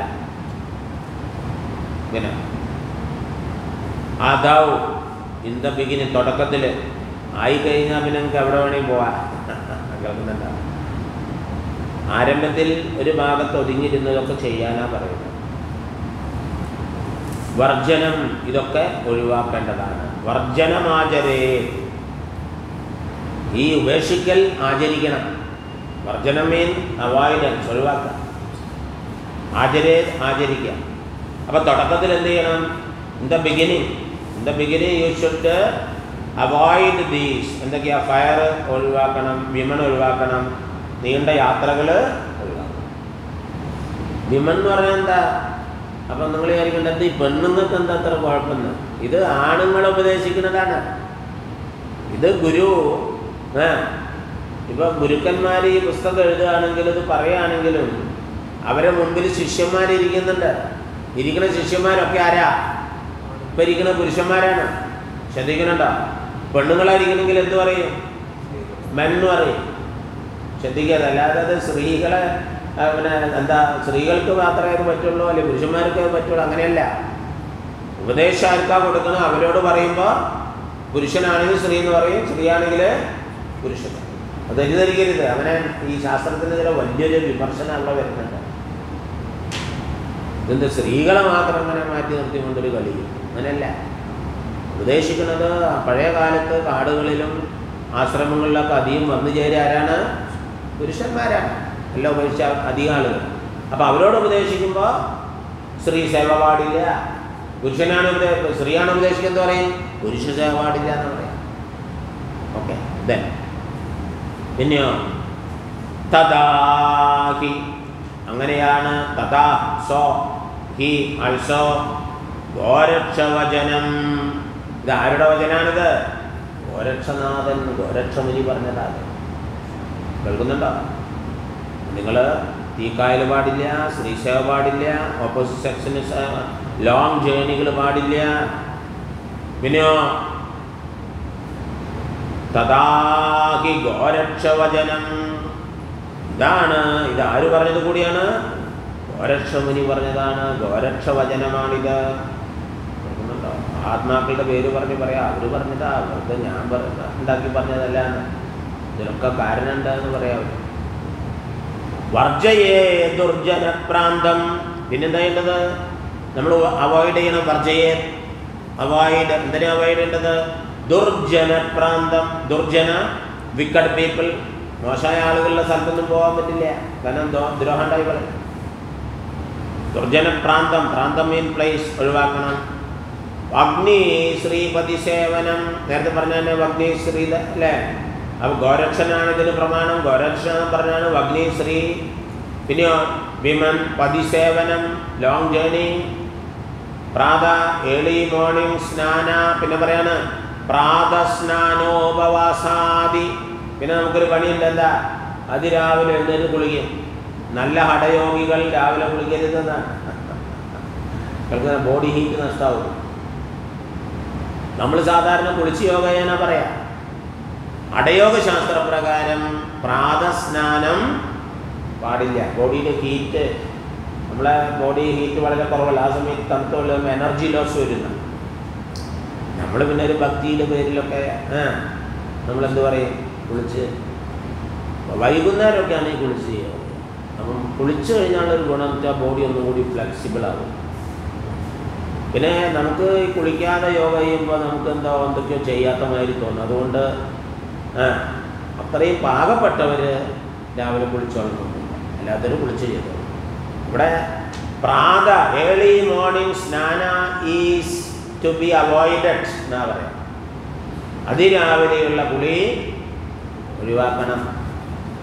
നല്ല തണുപ്പായിരിക്കും. ആ തണുപ്പത്ത് കുളിച്ചാൽ എനർജി ലോസ് വരില്ല പിന്നെയോ? ഉപവാസം. പട്ടിണി കിടക്കൽ ഒഴിവാക്കണം ഉപവാസം വേണ്ട. അതിനടുത്ത് ആഴ്ചയിൽ ഒരു ഉപവാസം വേണ്ട എന്നല്ല ഇതിന്റെ അർത്ഥം. ശുദ്ധീകരണത്തിനല്ല ഭക്ഷണം കഴിക്കാതെ യോഗയായിട്ട് നടക്കണ്ട പ്രാതസ്നാനോ ഉപവാസാദി. പ്രാതസ്നാനം ഉപവാസം തുടങ്ങി ഒഴിവാക്കണം. അങ്ങനെ കായക്ലേശവിധിന്തത കായത്തിന് ക്ലേശമുണ്ടാക്കുന്ന ബോഡിക്ക് ക്ലേശമുണ്ടാക്കുന്ന മെത്തേഡുകൾ ഒഴിവാക്കേണ്ടതുണ്ട്. കേൾക്കുന്നുണ്ടോ ഗോരക്ഷനാഥനും ഇത് പറഞ്ഞു വെച്ചിട്ടുണ്ട്. ഓക്കെ. ഇനി അടുത്ത അറുപത്തിരണ്ട്. ഇതിൽ ഓർക്കേണ്ടത് നിങ്ങൾ അടയോഗയിൽ നമ്മൾ സീരിയസ് ആയിട്ട് അടയോഗ ശാസ്ത്രത്തിന്റെ ബോഡി എനർജിയൊക്കെ നിലനിർത്തി പോകണമെങ്കിൽ അതിരാവിലെ കുളി പാടില്ല എന്ന ശരി. നിങ്ങൾ തീരുമാനിച്ചോളൂ ബാക്കി. കണ്ടുസീവ് ഫുഡ് ഇനി നമ്മൾ പത്യാഹാരത്തെ പറ്റി പറയാം. ഗോധൂമ ശാലി യവ ശാസ്തിക ശോഭന നം ക്ഷീരാജ്യ ക്ഷീ രാജ്യഗണ്ഡന വനി ഗണ്ഡ നവനീത സിധാമധൂനി. ശുണ്ടി പടോലക പലാദിക പഞ്ചശാകം മുദ്ഗാദിദിവ്യ മുദകം യമീന്ദ്രപദ്യം ച യമീന്ദ്രപദ്യം. എന്തൊക്കെയാ? നമ്മൾ ഉപയോഗിക്കേണ്ട ഭക്ഷണങ്ങൾ പ്രത്യാഹാരം എന്തൊക്കെയാ? ഗോധൂമം. ഗോധൂമ വീറ്റ് ഗോതമ്പ്. ഗോധൂമ മീൻ വീറ്റ് ഗോധൂമ ശാലി ശാലി എന്ന് പറഞ്ഞ റൈസ് അരി. യവ ബാർലി. യവ എന്ന് പറഞ്ഞാൽ ബാർലി. ശാഷ്ടിക. എ വെറൈറ്റി ഓഫ് ക്രോപ്പ് എന്ന റൈസാണ് ഒരു തരം. അറുപത് ദിവസം കൊണ്ടുണ്ടാകുന്ന ഒരു അരിയുണ്ട്. ആ അരിക്ക് പറയുന്ന പേരാണ് ശാഷ്ടിക. അരി. യവ എന്ന് പറഞ്ഞാൽ ബാർലി. ശോഭന മീൻ ഗുഡ് അന്നം ഗ്രെയിൻസ്. ഇതൊക്കെ ശോഭനാന്നങ്ങളാണ് ഗുഡ് ഗ്രെയിൻസ്. ഏ? ആ വെള്ളം കൊടുക്കും. ക്ഷീര പാൽ ആജ്യ ഗീ ഗണ്ട കൽക്കണ്ടം. ആ നെയ്യ്. ഗണ്ട മീൻ ജാഗറി കൽക്കണ്ടം. നവനീത നവനീത മീൻ ബട്ടർ. സിത സിത മീൻ ഷുഗർ. മധുനി ഹണി തേന് മധുനി തേൻ. ശുണ്ടി ശുണ്ടി എന്ന് പറഞ്ഞാൽ ചുക്ക്. ഡ്രൈ ജിഞ്ചർ അതിനാണ് ശുണ്ടി പടോലകം പടവലങ്ങ. ബല ഫ്രൂട്ട്സ് അങ്ങനെയുള്ള പഴങ്ങൾ. ആദിക മുതലായവ. പഞ്ച ലീഫി വെജിറ്റബിൾസ്. അഞ്ച് തരം ലീഫി വെജിറ്റബിൾസ് ഉണ്ട്. മുഗ്ധ ഗ്രീൻ ഗ്രാം ചെറുപയർ. ആദി മുതലായവ. ദിവ്യം സെലഷ്യൽ. ഉദകം വാട്ടർ. റെയിൻ വാട്ടറാണ് ഉദകം. ദിവ്യവെള്ളം എന്ന് പറഞ്ഞാൽ റെയിൻ വാട്ടറാണ്. യമീന്ദ്ര യമീന്ദ്രന്മാർക്ക് പദ്യം പദ്യമായതാണ് അപ്പോൾ ഇവിടെ ഇല ചില ഇലകൾ ഭക്ഷിക്കാവുന്ന ഫൈവ് ലീഫി വെജിറ്റബിൾസ് ഉണ്ട്. അവിടെ നേരത്തെ അപദ്യം പറഞ്ഞതിൽ ചില ഇലകൾ പാടില്ല. അത് കണ്ടെത്തിക്കൊള്ളാം ലീഫി വെജിറ്റബിൾസ് അഞ്ചുണ്ട് ഇതൊക്കെ പഥ്യമായ ഭക്ഷണങ്ങൾ. ഇപ്പം വിചാർദ ഫുഡ് കണ്ടിസീവ് കണ്ടിസീവ് പഥ്യം.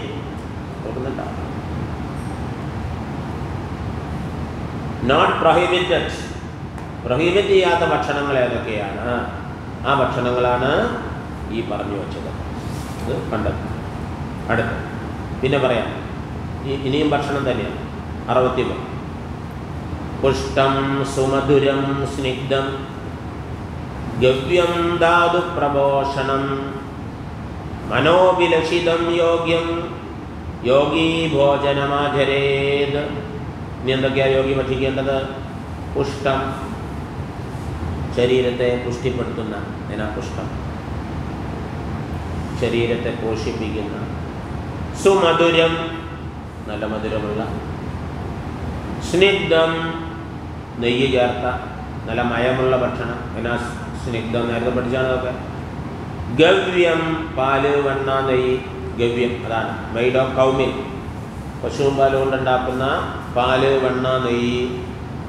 പിന്നെ ധാതുപ്രപോഷണം ശരീരധാതുക്കളെ പോഷിപ്പിക്കുക പിന്നെ ധാതുപ്രപോഷണം? മനോവിലഷിതം. പിന്നെ മനസ്സിന് ഇഷ്ടമുള്ള മനോവിലഷിതം. ഇത് കിട്ടിയാലോ എന്താ കഴിക്കല്ല മനസ്സിന് ഇഷ്ടപ്പെടും. നമ്മുടെ ടേസ്റ്റിന് ഇഷ്ടപ്പെടും. മനോവിലഷിതം യോഗ്യം. യോഗ്യമായത് അതായത് യോഗശാസ്ത്രത്തിന് ഓരോ കണ്ടീഷന് ഫുൾഫില്ല് ചെയ്യുന്ന ഭക്ഷണം. യോഗി ഭോജനമാചരേത്. യോഗികൾ അങ്ങനെയുള്ള ഭോജനം ഫുഡ് ആചരേത് മീൻ ഷുഡ് കൺസീവ് കഴിക്കണം. അതൊക്കെ പഠിച്ചു വെച്ചോളൂ.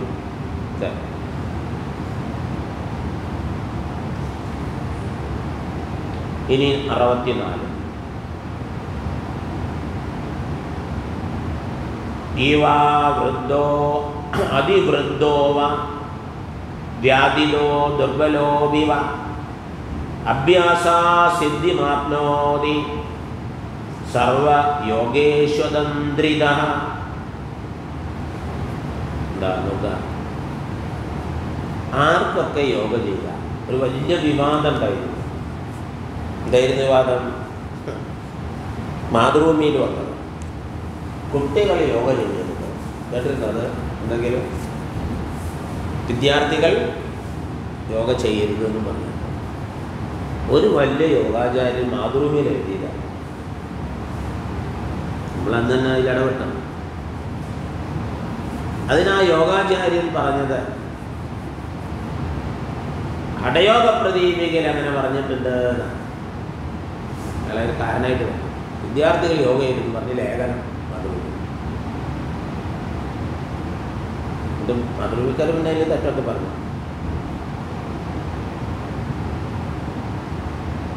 അതിന് അദ്ദേഹത്തിന്റെ പേര് അദ്ദേഹം വലിയ വലിയ അറിയപ്പെട്ട യോഗ അദ്ദേഹം പറഞ്ഞത് ഹടയോഗ പ്രതിഭയിലാണ് പറഞ്ഞത്.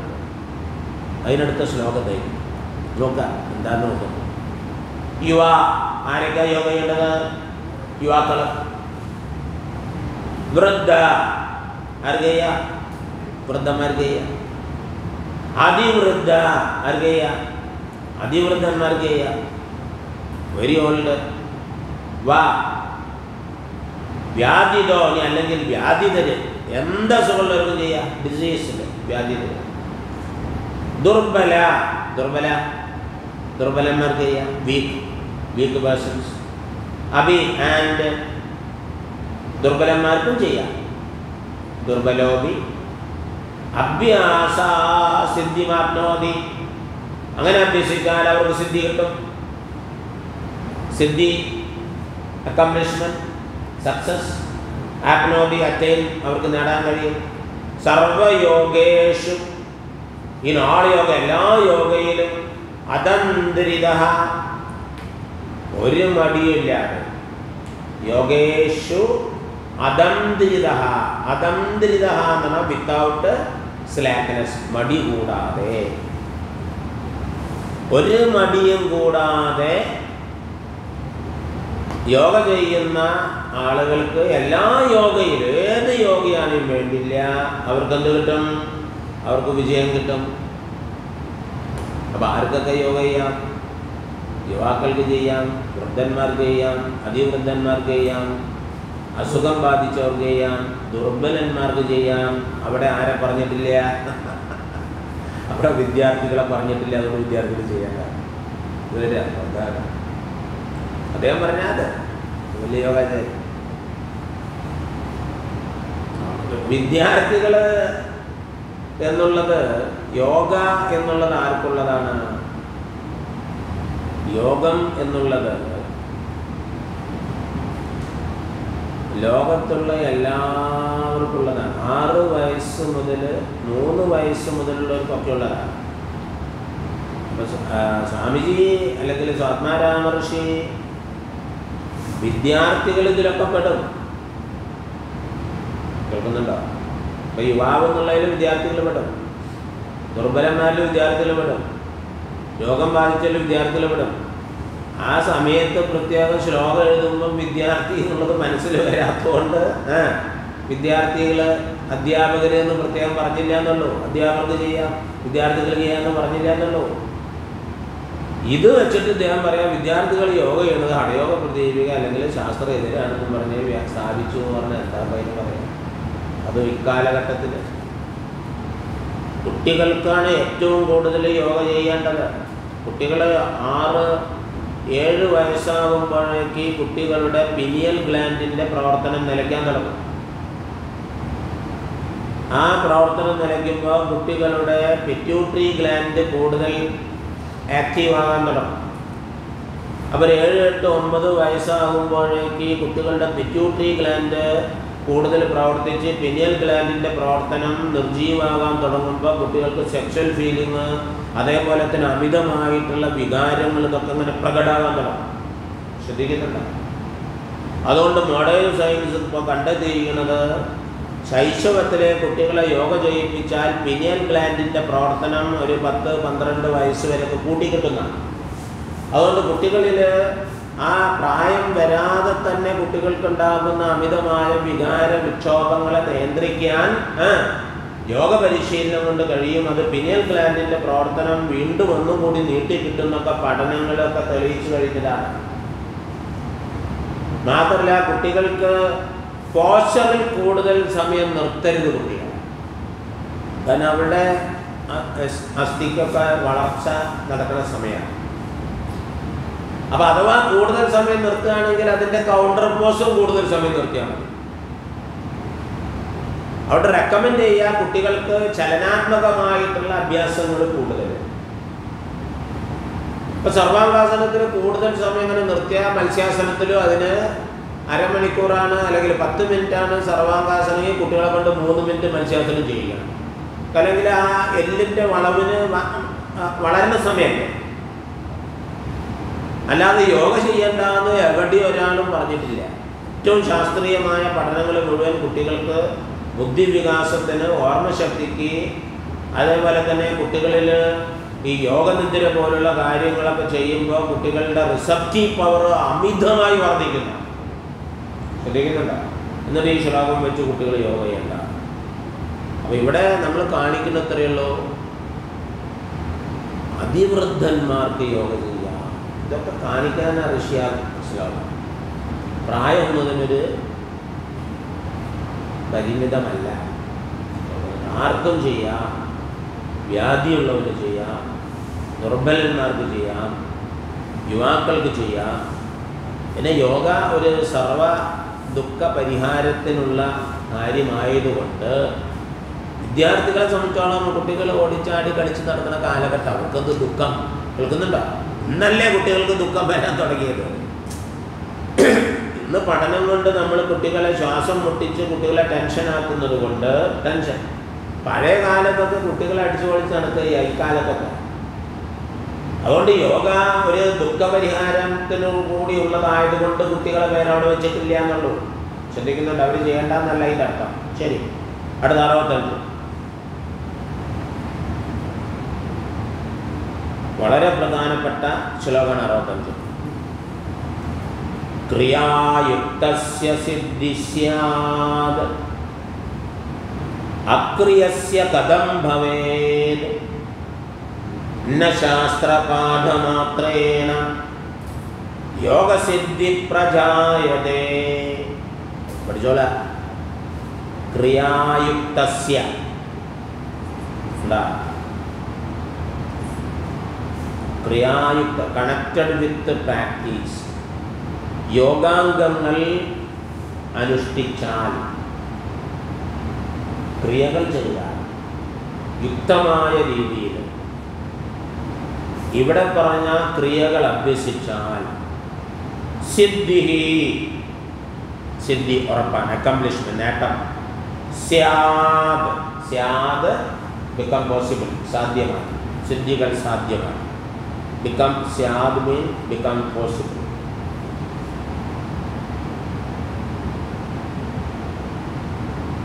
ക്രിയായുക്തസ്യ അഭ്യസിക്കുകയാണെങ്കിൽ എന്നാണ് ഈ പറഞ്ഞ അഭ്യാസങ്ങൾ നമ്മൾ അഭ്യസിക്കുകയാണെങ്കിൽ സിദ്ധി സ്യാ സിദ്ധി is possible accomplishment is sure accomplishment ഉറപ്പാണ്. അഭ്യസിച്ചാൽ ശ്രദ്ധിച്ചോളട്ടാ അഭ്യസിച്ചാൽ സിദ്ധി ഉറപ്പാണ് നമുക്കെന്തില്ല? നമ്മളിങ്ങനെ മൂന്ന് മണിക്കൂർ പത്മാസനത്തിലിരിക്കണം രണ്ട് മണിക്കൂർ ഇരിക്കണം. അതേപോലെ തന്നെ നിരന്തരം മിതാഹാരിയായിട്ട് ബ്രഹ്മചാരിയായിട്ടൊക്കെ അത് ചെയ്യണമെന്ന് നമ്മളാരും ആഗ്രഹിക്കാം ചെയ്യാറ് അഭ്യസിച്ചാൽ ഉറപ്പാണ് സിദ്ധി.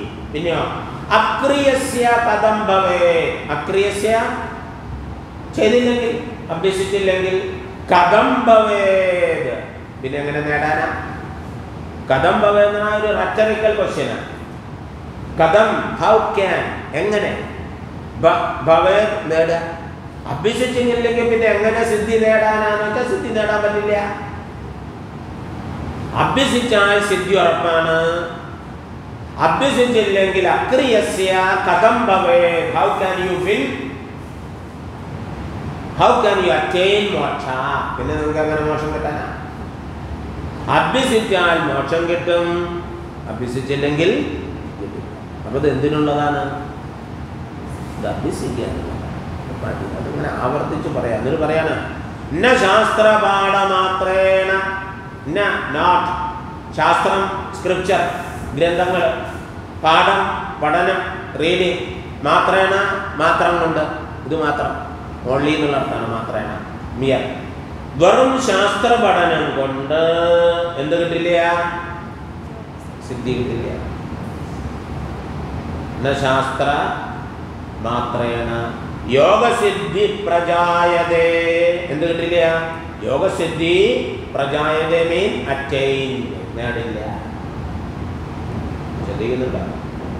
എത്ര സ്ഥലത്താണ് ഋഷിമാർ പറഞ്ഞു വെച്ചെന്നറിയുന്നത് യോഗ അംഗങ്ങൾ നേരത്തെ പറഞ്ഞ നാലംഗാണ് ഇതിലെങ്കിൽ നാലംഗങ്ങൾ വേണ്ട പോലെ അഭ്യസിച്ചാൽ ആർക്കും സിദ്ധി കിട്ടും.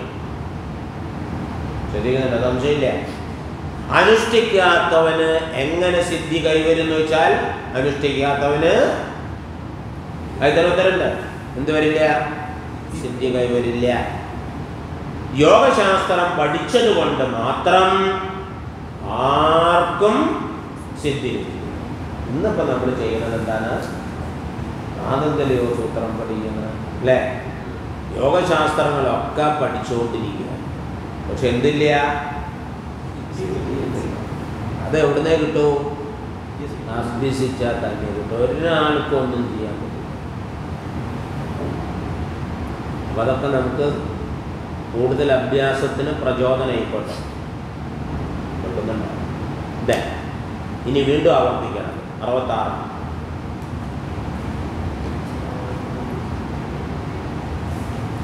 വേഷധാരണം സിദ്ധേ കാരണം ന ച തത്കഥാ. ക്രിയൈവ കാരണം സിദ്ധേ സത്യമേതന്ന സംശയ. ഇതിലൊരു സംശയമില്ല അത് സത്യമാണ് എന്ന് പറയാൻ ഋഷിമാർക്ക് അങ്ങനെ ഒരു രീതിയുണ്ട്. ഇത് സത്യമാണ്. എന്താ? ന വേഷധാരണം. വേഷധാരണം കൊണ്ട് സിദ്ധേ ന സിദ്ധേ സിദ്ധി കിട്ടില്ല. പ്രത്യേക വസ്ത്രം ധരിച്ചത് കൊണ്ട് കേൾക്കുന്നുണ്ടോ? പ്രത്യേകമായ രീതിയിൽ സംസാരിച്ചത് കൊണ്ട് നിങ്ങൾക്ക് സിദ്ധി കിട്ടാൻ പോകുന്നില്ല. എന്താ സിദ്ധി എല്ലാം ഒന്നെന്ന് തിരിച്ചറിയുക. അല്ലാത്തൊരു സിദ്ധിയില്ലല്ലോ യോഗശാസ്ത്രം പറയുന്ന സിദ്ധി എന്താണ്? മറ്റു സിദ്ധികളൊന്നും പെടരുത് ഇവിടെ പറയുന്ന സിദ്ധി എന്താണ്? എല്ലാം. നീ കാണുന്നത് മുഴുവൻ കോൺഷ്യസ് എനർജിയാണെന്ന് ഫിസിക്സ് പറഞ്ഞില്ലേ? അത് തിരിച്ചറിഞ്ഞാൽ മതി. എന്നാൽ തന്നെ രക്ഷപ്പെട്ടു. ആത്മാവ് എന്നൊക്കെ പിന്നെ മതി. അപ്പോൾ നോക്കുക. വേഷധാരണം സിദ്ധേ. കാരണം ച തത്കഥ. കാരണം കോസ് ന നോട്ട് ച തത്. അത് അത് അത് എന്ന് പറഞ്ഞാൽ യോഗ. കഥ താക്കി സംസാരിക്കുക. യോഗയെക്കുറിച്ച് പറഞ്ഞതുകൊണ്ടും മോക്ഷം കിട്ടില്ല. ന തത്കഥ. തത്കഥ. അതിനെ പറ്റി പറയാ ഇതിനെ പറ്റി പറയാ. എബൌട്ട് ശാസ്ത്ര എബൌട്ട് യോഗശാസ്ത്ര. യോഗശാസ്ത്രത്തെ പറ്റി പറഞ്ഞതുകൊണ്ടോ പ്രത്യേക വസ്ത്രങ്ങൾ അണിഞ്ഞതുകൊണ്ടോ എന്ത് കിട്ടാൻ പോകുന്നില്ല? സിദ്ധി കിട്ടാൻ പോകുന്നില്ല. അവനൊക്കൊരു ധാരണയാണ്. വസ്ത്രം മാറിയ എന്ത് കിട്ടി? സിദ്ധി കിട്ടും. കൃത്യമായി ഋഷി പറഞ്ഞു വെച്ചിരിക്കുകയാണ്. ഒരു കുറുക്ക് വഴി ഇതിനില്ല. ഒറ്റ മാർഗമുള്ളത് അഭ്യസിക്കുക. എന്ത് പറയാണ്? ന വേഷധാരണം ഇത് രണ്ട് കാര്യമാണ്. വേഷം മാറിയത് കൊണ്ടോ പ്രത്യേക വേഷം ധരിച്ചത് കൊണ്ടോ ശാസ്ത്രത്തെ പഠിപ്പിച്ചത് കൊണ്ടോ കേൾക്കുന്നുണ്ടോ? അല്ലെങ്കിൽ അതിനെപ്പറ്റി സംസാരിച്ചത് കൊണ്ടോ ക്രിയൈവ കാരണം സിദ്ധേ. എന്താണ്? ക്രിയ ഏവ? ക്രിയ ഏവ മീൻ പ്രാക്ടീസ് ഓൺലി ഏവ മീൻ ഓൺലി ക്രിയ ഏവ അഭ്യാസം മാത്രമാണ്.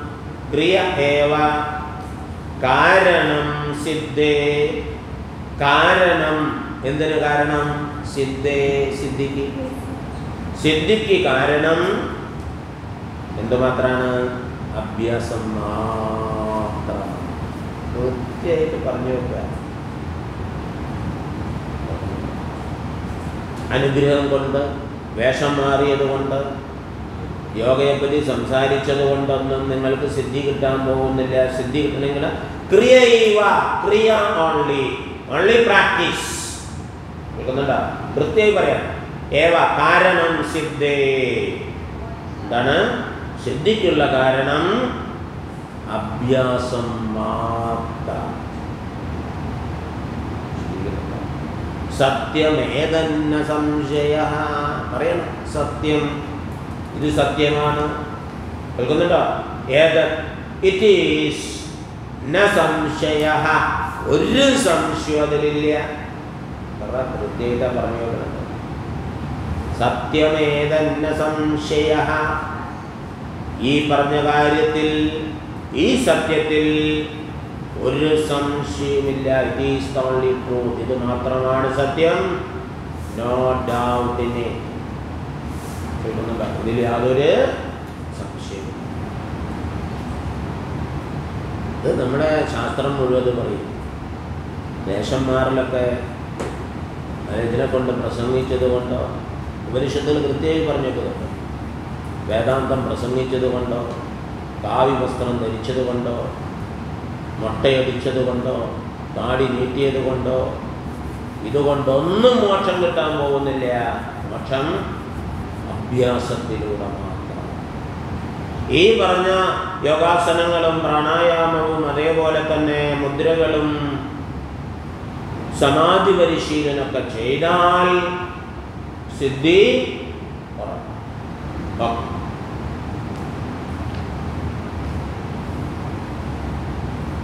അറുപത്തിയെട്ട് എന്തൊക്കെയാ വീണ്ടും പറയണേ? പീഡാനി കുംഭകാക്ഷിത്ര ദിവ്യാനി കരണാനി ച സർവാണ്യാഭിഹടാഭ്യാസേ രാജയോഗബലാവിധി പീഡാനി പീഡാനി മീൻ പീഠങ്ങൾ മുതലായ വേരിയസ് ആസനാസ് വ്യത്യസ്തമായ പീഠങ്ങൾ ആസനങ്ങൾ കുംഭക പ്രാണായാമങ്ങൾ ചിത്ര ചിത്ര മീൻ different, പറഞ്ഞാണ് ഡിഫറെന്റ് ടൈപ്പ് ഓഫ് ടെക്നിക്സ് ചിത്ര ഡിഫറെന്റ് ദിവ്യാനി ദിവ്യാനി എന്ന് പറഞ്ഞാൽ സെലക്ഷൻ ദൈവീകമായ കരണാനി കരണാനി എന്ന് പറഞ്ഞാൽ മുദ്രകൾ വ്യത്യസ്തമായ മുദ്രകൾ അപ്പം എന്തൊക്കെയാണ്? ആസനങ്ങൾ പ്രാണായാമം വ്യത്യസ്തമായ മുദ്രകൾ സർവാണി ആളോബ്ദം ഇവയെല്ലാം അടാഭ്യാസേ. എന്താ പ്രാക്ടീസോ ഹട? ഈ ഇങ്ങനെയുള്ള അഭ്യാസങ്ങൾ മുഴുവൻ. പിന്നെന്താണ്? സർവാണ്യഭിഹടാഭ്യാസേ രാജയോഗബലാവിധി. ഏതുവരെ? Till the attainment of raja yoga. Raja yoga mean samadhi. സമാധി നേടുന്നത് വരെ നാം എന്ത് ചെയ്യണം? We should practice asanas we should practice pranayama and we should practice the celestial mudras ഇത് സമാധി നേടുന്നത് വരെ ഇതാണ്. സർവാണ്യഭിഹടാഭ്യാസേ രാജയോഗ ബലാവധി ബലാവധി mean till the attainment of ബല ബലാമീൻ റിസൾട്ട് റിസൾട്ട് നേടുന്നത് വരെ ഇതാണ് ബലാവധി. ബലം നേടുന്നത് വരെ ഏത് രാജയോഗ ബലം raja yoga mean samadhi. Till the attainment of raja yoga till the attainment of samadhi. സമാധി നേടുന്നത് വരെ you should practice asanas you should practice kumbhakas and you should practice mudras ആവർത്തിച്ച് ആവർത്തിച്ച് പറയാം. ക്രിയൈവ അഭ്യാസം മാത്രമാണ് സിദ്ധിക്കുള്ള ഒരേ ഒരു മാർഗം അഭ്യാസം. അപ്പോൾ ഈ അഭ്യാസങ്ങൾ ഏതുവരെ? രാജയോഗ സിദ്ധി നേടുന്നത് വരെ ഇവിടെ രാജയോഗം എന്ന് പറഞ്ഞാൽ അടയോഗ പ്രദീപിക പ്രകാരം രാജയോഗം എന്ന് പറഞ്ഞാൽ സമാധിയാണ്. സമാധി എന്ന് പറഞ്ഞാൽ ഏകത്വമാണ്. ശ്രദ്ധിക്കുക. പതഞ്ജലി മഹർഷിയാണ് സമാധി എന്ന് പറയുന്നതെങ്കിൽ അത് പൂർണമല്ല. ശ്രദ്ധിക്കുന്നുണ്ട്. അവിടെ സമാധി എന്ന് പറഞ്ഞാൽ എന്താണ്? നിരന്തരമായിട്ടുള്ള ആ ആത്മ ആകാര വൃത്തി മാത്രം. അത് തിരിച്ചറിവല്ല. അത് ചിത്തത്തിൽപ്പെട്ടതാണ്. ചിത്തധർമ്മത്തിൽപ്പെട്ടതാണ്. പിന്നെ ഹടയോഗ പ്രദീപികയിൽ ചിത്തധർമ്മമല്ല സമാധി. സമാധി എന്ന് പറഞ്ഞാൽ കടന്നുപോയതാണ്. ആ തിരിച്ചറിവ് വന്നവരാണ്. കേൾക്കുന്നുണ്ടോ അപ്പോൾ ഒരു തിരിച്ചറിവ് കിട്ടുന്നത് വരെ. ഇവിടുത്തെ ഈ സമാധി ഉപനിഷത്തുകൾ പറയുന്ന സമാധിയൊക്കെ എല്ലാം ഒന്നെന്നുള്ള തിരിച്ചറിവിനെ സമാധി എന്ന് പറയാം. അദ്വൈതം. എന്നാ പാതഞ്ജലി ഓസൂത്രത്തിൽ അദ്വൈതമല്ല അത്.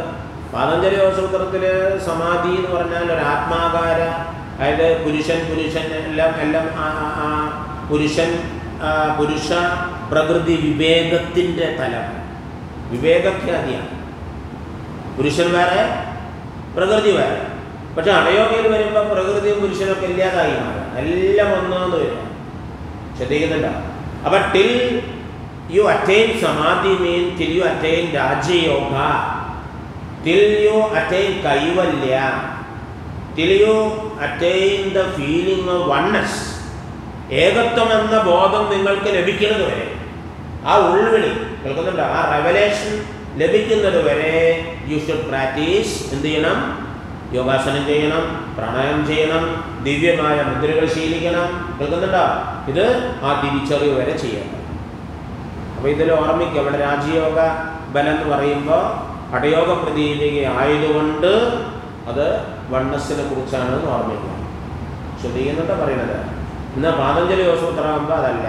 അത് ചിത്തധർമ്മമാണ്. അതിനെയും കടന്നു പോകാനും. വെളിപാടിലേക്ക് പിന്നെയും വരാം ശരി. ഇതി സ്വാത്മാരാമ വിരചിയതാം വിരചിയതാം. ഹഠയോഗ പ്രദീപ പ്രദീപികായാം പ്രഥമോപദേശ. അങ്ങനെ ആദ്യം അവസാനിക്കാം. ഇതി ദിസ് ഇത്. അങ്ങനെ ദസ് സ്വാത്മാരാമ വിരചിതായാം. സ്വാത്മാരാമനാൽ രചിക്കപ്പെട്ട. റിട്ടൺ ബൈ സ്വാത്മാരാമ ഏതാണ്? അടയോഗ പ്രതീതികയ. അടയോഗ പ്രതീതിക എന്ന ഗ്രന്ഥത്തിന്റെ പ്രഥമ ഉപദേശ ഇതാണ് പ്രഥമ ഉപദേശം. പ്രഥമ ഉപദേശം മീൻ അധ്യായം. ഇത് ഇതാണ് ദസ് എൻസ് അടയോഗ പ്രദീപിക അല്ലേ? Written by സ്വാത്മാരാമ.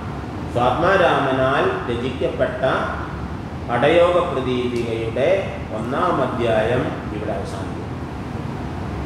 അപ്പോൾ അതിന് നമ്മൾ ആസനങ്ങൾ മാത്രം തൽക്കാലം ഒഴിവാക്കിയതാണ്. നിങ്ങളൊന്ന് പോയി നോക്കുക. നമുക്ക് ആസനങ്ങൾ മൊത്തം ഒന്നിവിടെ പരിശീലിക്കാം. എന്തായാലും കൺഫ്യൂഷൻ ഉണ്ടാവും. ഒന്നാം അധ്യായം കഴിയും